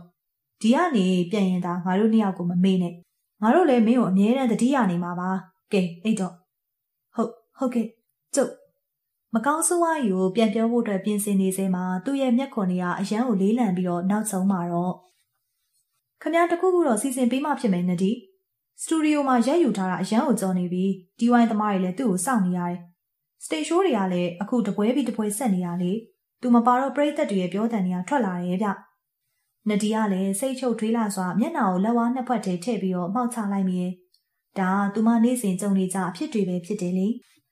လင်းယုံခရီးစထွက်သွားကြတဲ့သူမစီကိုပရိုဂျူဆာတွေပွဲစီစဉ်သူတွေနေ့စဉ်နဲ့အမျှရောက်လာပြီးတော့နပူနဆာတိုက်နေတော့တာပဲဖြစ်တယ်။လင်းတယောင်ခရီးထွက်သွားတာရက်လဲကြပြီဆိုတော့သူမအနေနဲ့ဆက်ပြီးတော့ခေါင်းဆောင်ဖို့အတွက်မကောင်းတော့တာလည်းသိပါတယ်။ဟုတ်ကဲ့ခဏဆောင်မှကျမဆက်သွယ်ပေးပါမယ်။နဒီဖုန်းကိုယူပြီးတော့အခန်းထဲကိုဝင်ခဲ့တယ်။လင်းတယောင်စိတ်မရှိစွာအော်ဟစ်ရင်လည်းခံရတော့မှာပဲ။ နဒီကိုယ်တိုင်လည်းလင်းတယောက်တည်းအဖို့မပါဘဲနဲ့ဒီလောက်ခရီးရှည်ကြီးကြာနေတာစိုးရိမ်ပူပန်လာမိတယ်။လင်းရဲ့ဟန်ဖုန်းကိုခေါ်လိုက်တော့ဖုန်းပိတ်ထားပါတယ်တဲ့။နဒီစိတ်ပြက်လက်ပြက်ဖုန်းပိတ်လိုက်မိတယ်။လင်းသွားတဲ့နေရာကဝေးလံခေါင်တီလွန်းလာတဲ့နေရာဖြစ်တယ်။နဒီကဖုန်းကိုစိတ်ပြက်စွာကင်ထားမိရင်နောက်ဆုံးတော့လင်းစီကိုကိုယ်တိုင်လိုက်သွားဖို့အတွက်ဆုံးဖြတ်လိုက်မိတော့တယ်။ဖះကြီးနဒီယာလမ်းမှာထိတ်လန့်ချောက်ချားစရာဖြစ်ပျက်တွေကိုတစ်ခုပြီးတစ်ခုစုံတွေ့ပြီးမှရွာလေးစီကိုရောက်လာခဲ့တယ် ရွာဆက်မှာကို့ကိုကြောခိုင်းထားပြီးမှဖြက်ခနဲကားဘေးကိုရောက်လာတဲ့မကောင်းဆိုးဝါးကြီးတစ်ကောင်တွေ့ခဲ့ရတယ်။ပြီးတော့ရုတ်တရက်ကြီးတစ်ပင်ပေါ်ကနေပြိုစင်းကျလာတဲ့ငှက်အုပ်ကြီးကြောင့်လည်းကားဆက်မောင်းလို့မရလောက်သူမထိတ်လန့်ချောက်ချားခဲ့ရတယ်။ရွာဆက်မှာတောင်ရလုံနေတဲ့လူတချို့နဲ့တွေ့လို့လောကနိဗ္ဗာန်တဲခုခံကိုတစိမ့်လောက်လမ်းညွန်ပြပေးပါလားရှင်။သူမရဲ့စကားကြောင့်အဲ့ဒီအလူတွေဟာတယောက်မျက်နှာတယောက်ကြည့်လိုက်ကြတယ်။မိန်းကလေးကလောကနိဗ္ဗာန်တဲခုခံဘာကိစ္စရှိလို့သွားမှလဲကွ။ အဲ့ဒီလူတွေကအသက်ခက်ကြီးကြီးလူတယောက်ကသူမကိုပြန်မေးတယ်။သူမရဲ့စိတ်ထဲထင်ကနေဖြစ်သွားရတယ်။ဒီလိုပါအဘရဲ့ကျမရဲ့မျိုးသားအဲ့ဒီမှာတဲနေတာပါ။အဲ့ဒါရက်ကြပြီဆိုတော့စိတ်ပူလို့လိုက်လာခဲ့တာလေ။အလုပ်ကိစ္စတွေလည်းရှိသေးတာဆိုတော့อืมမိန်းကလေးတယောက်တည်းဆိုတော့အဲ့ဒီနေရာကိုသွားဖို့မသင့်တော့ဘူးတို့တွေပါလိုက်ခဲ့ပေးပါမယ်အဲ့ဒီကလူတွေအဖော်လိုက်ခဲ့ပြီးတော့ဘာပဲဖြစ်ဖြစ်သူမအားတက်သွားခဲ့ရတယ်သူမအဲ့ဒီရဲ့လူတစုကိုတင်ပြီးတော့တိတ်ဆိတ်ငြိမ်သက်စွာ ပြီးတော့ခြောက်ချားစွာကားကိုဖြည်းဖြည်းချင်းမောင်းထွက်ခဲ့တယ်ရွာလို့သာဆိုပေမဲ့လူရိတ်လူရောင်မတွေ့ရတာမို့လို့တဖြည်းဖြည်းနဲ့သူမရဲ့စိတ်ထဲသင်္ကာမကင်ဖြစ်လာမိရဲ့ဒါရွာလာရင်လူလေးတယောက်မှမတွေ့ရပါလားသူမမနေနိုင်စာနဲ့ဖွင့်ပြောလိုက်မိတယ်။อืมဒါအရင်ကတော့ရွာပါပဲ။ပြန်ဖြေတဲ့ပုံကခက်လေးလေးမို့လို့သူမရဲ့ရှင်နေရတန်တရားကပို့ပြီးတော့ကြီးထွားလာခဲ့တယ်။ဟင်ဒါဆိုအခုရော မိန်းကလေးဟိုရောက်တော့သိရမှာပေါ့ကွယ်။အဲ့ဒီလူကြီးကစကားမဆက်ချင်တော့တလို့ပြောတာမို့လို့သူမဆက်မမေးတော့ကားမှာတစားတက်တစား၆ကက်လွန်လာတဲ့ရွာတွေကိုရောက်လာခဲ့ပြီးတော့နောက်ဆုံးမှာကြီးမားထေဝါလွန်းလာတဲ့အိုဟောင်းလှပြီဖြစ်တဲ့အဆောက်အုံကြီးတစ်ခုကိုတွေ့လိုက်ရတယ်။အဲ့ဒါပဲလောကနိဗ္ဗာန်ဆိုတာ။ဖះကြီးအဲ့ဒါတဲကိုကန်လား။လင်းတဲကိုနေရဲဆိုတဲ့တဲကိုကန်ဟာလူမနေတဲ့အဆောက်အုံဟောင်းကြီးရဲ့လား။ စိုးရိမ်ပူပန်စိတ်ကနတိကိုငယ်ထိတ်ကြီးစုဝေစောင့်တက်လာစေကနဒီကလည်းကားပေါ်ကနေအမြန်ပြေးဆင်းလာခဲ့မိတယ်။မိန်းကလေးနေအောင်ကျုပ်တို့လည်းလိုက်ခဲ့မယ်။နဒီယာနောက်ကလူတွေကိုမစောင့်နိုင်ပဲနဲ့အဆောင်အောင်ဟောင်းကြီးတဲ့ကိုအလင်းစလိုပြေးဝင်လိုက်မိတယ်။ဖုံအလေးလေးကြားမှာပိန်ဒီဖြော့တော့ပြီးတော့လဲကျနေတဲ့လင်းကိုတွေ့လိုက်ရတော့မျက်လုံးတွေပြဝေပြီးတော့နဒီထိတ်လန့်တကြားអော်လိုက်မိတယ်။လင်း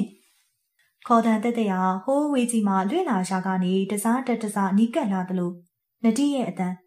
သူလေးလံနေစေဖြစ်တဲ့မျက်ခွန်တွေကိုအာယူပြီးတော့ဖွင့်ကြည့်လိုက်မိတယ်။အလင်းရောင်ဆူဆူအဲ့ဒီနောက်တဖြည်းဖြည်းရှင်းလင်းပြပြလာတဲ့မြင်ကွင်းပုံရိပ်တွေနဒီလင်းလင်းတတိရလာပြီနော်သူဘယ်တော့မှအိပ်ပျော်သွားခဲ့တာလဲလင်းယုံလဲကျနေရကနေလူလဲထားလိုက်မိတယ် မြင်ကွင်းကသူရောက်လာခဲ့တော့ကလို့ထေဝါတက်ရက်တဲ့တဲခုခံကြီးမဟုတ်ဘဲနဲ့အဆောင်အောင်ဟောင်းကြီးတစ်ခုဖြစ်နေတာတွေ့လိုက်ရတော့သူအကြီးကျယ်ထိတ်လန့်သွားတော့တယ်ကိုကိုဘယ်ရောက်နေရလဲဟင်လင်းမဲ့လောကနိဗ္ဗာန်တဲခုခံအောင်လာတာမဟုတ်ဘူးလားဒါဒါလောကနိဗ္ဗာန်မှမဟုတ်ပဲသူတအံ့တော်နဲ့ပြောလိုက်မိတယ်နဒီနောက်မှာပါလာတဲ့လူတွေတရားတယောက်ကသူ့ကိုဂယုဏတက်စွာနဲ့ကြည့်လိုက်တယ်ဒါလောကနိဗ္ဗာန်ပါပဲ ဟင်အင်းမဟုတ်ဘူးကျွန်တော်ရောက်လာခဲ့တဲ့လောကနိဗ္ဗာန်ဒီလိုပုံစံမှမဟုတ်ပဲဒါလောကနိဗ္ဗာန်အစ်စ်ပါပဲဒါပေမဲ့ဒီအိမ်မှာလူမနေတာကြာခဲ့ပါပြီဘာဘလို့ဟုတ်တယ်ဒီအိမ်ကိုဝယ်လိုက်တဲ့ဥအောင်ခန့်တေဆုံးပြီးကြရဒီမှာလူမနေတာကြာခဲ့ပါပြီ။ဥအောင်ခန့်တချင်းရေးဆရာဥအောင်ခန့်လား။ဟုတ်ပါတယ်။အဲ့ဒီတချင်းရေးဆရာဒီအိမ်ကြီးရဲ့မူလအိမ်ဟောင်း နေအစ္စရာကိုဆွဲလန်းပြီးတော့ဒီအိမ်ကြီးကိုဝယ်ခဲ့တာလေ။သူကယထာနဲ့ခရီးစဉ်တစ်ခုသွားပြီးပြန်လာတော့တိတ်မကြခင်မှာပဲတေဆုံးသွားခဲ့တာ။ဖះကြီးနေအစ္စရာဥအောင်ခန့်ပြီးတော့သူအရန်ကိုအောင်မြင်ကြော်ကြားခဲ့တဲ့လှိုင်းရှိုက်တန်တချင်းနောက်ပြီးတော့လောကနိဗ္ဗာန်တဲခုကံအဖြစ်ပြက်အားလုံးဟာသူ့ရဲ့အတွေးပုံရိပ်ထဲမှာမြင်ရောင်ကြားရောင်ဆဲပဲသူချက်ချင်းထားရက်လိုက်တယ်လင်းဘယ်လဲပြန်မယ်လေနဒီရဲ့ကိုတို့ပြန်ကြမယ်လေ ပြန်ကြမယ်လို့ပြောသည့်တိုင်တကယ်တမ်းဒီနေရာကနေထွက်ခွာတော့မယ်ဆိုတော့သူ့ရဲ့ရင်ထဲမှာတစုံတစ်ခုအတွက်ကြည်ကွဲသွားမိတယ်လို့နေရစ်ခဲ့ပြီးတော့ဒဏ္ဍာရီတရားရွှေမင်းသမီးနဲ့တချင်းရေးဆရာတို့ရေခမားတို့ကိုပြီးခဲ့တဲ့ကတိကိုကျွန်တော်အသက်ထက်ဆုံးတည်မြဲအောင်လို့စူးစမ်းပါမယ်ကျွန်တော်ကအခုချိန်ကစပြီးတော့ခမားတို့လိုနှလုံးသားစစ်စစ်နဲ့အမှုပညာစစ်စစ်ကိုငွေဖွားနိုင်အောင်လို့စူးစမ်းပါမယ်။ဟော်ဒီလောကနိဗ္ဗာန်ကနေခမားတို့နှစ်ယောက်ရဲ့ဝိညာဉ်တွေလွတ်လပ်စွာနဲ့လွေမျောစည်းကုနိုင်အောင်လို့ဒီနေရာကိုပြန်လာပြီးတော့ ကောင်းမှုကုသိုလ်တွေလုပ်ပေးမယ်လို့ကတိပြုခဲ့ပါတယ်။သွားကြမယ်လေလင်း။အဆောက်အုံဟောင်းကြီးကိုတန်တရားမပြတ်နိုင်စွာနဲ့ငေးကြည့်နေမိတဲ့သူ့ကိုနတိတတိပေးတယ်။အဲဒီတော့မှသူကလည်းတတိပြန်ဝင်လာခဲ့ပြီးတော့နတိရဲ့လက်ကိုဖွားဖွားဆုပ်ကိုင်းကလောကနိဗ္ဗာန်ကနေထွက်လာခဲ့မိတယ်။အဲဒီရဲ့အချိန်မှာသူ့ကိုမုံမိုင်းနဲ့မျက်လုံးတစ်စုံနဲ့ငေးကြည့်ကြံရစ်မဲ့အရေးနှစ်ခုကိုသူ့ရဲ့အတွေ့ထဲမှာမြင်အောင်နေမိတယ်။လင်းယုံတွေးထင်တဲ့အတိုင်းပါပဲ။ ထွက်ခွာသားပြီဖြစ်တဲ့ကြောပင်ကိုမြင်ကွင်းတစ်စုံငေးကြည့်ပြီးတော့ကြံရစ်ခဲ့တဲ့အရေးနှစ်ခုဘယ်သူမှမြင်တွေ့နိုင်မှာမဟုတ်ပါဘူး။ပြီးတော့ချုံမြကြည်လင်တဲ့အတန်နဲ့တာယာငိမ့်ညောင်းလာတဲ့တချင်းတစ်ပုတ်ကိုလွမ်းစုကြည်ကွဲစွာတီးဆိုနေတဲ့ဝိညာဉ်နှစ်ခုရဲ့တချင်းတန်ကိုလည်းဘယ်သူမှကြားနိုင်မှာမဟုတ်ပါဘူး။ပရိသတ်များရှင်ဇလန်လေးကတော့ဒီမှာပဲပြီးဆုံးသွားပါပြီ။နောက်ဆက်အားပေးခဲ့ကြတဲ့ပရိသတ်များအားလုံးကိုကျေးဇူးများတင်ပါတယ်ရှင်။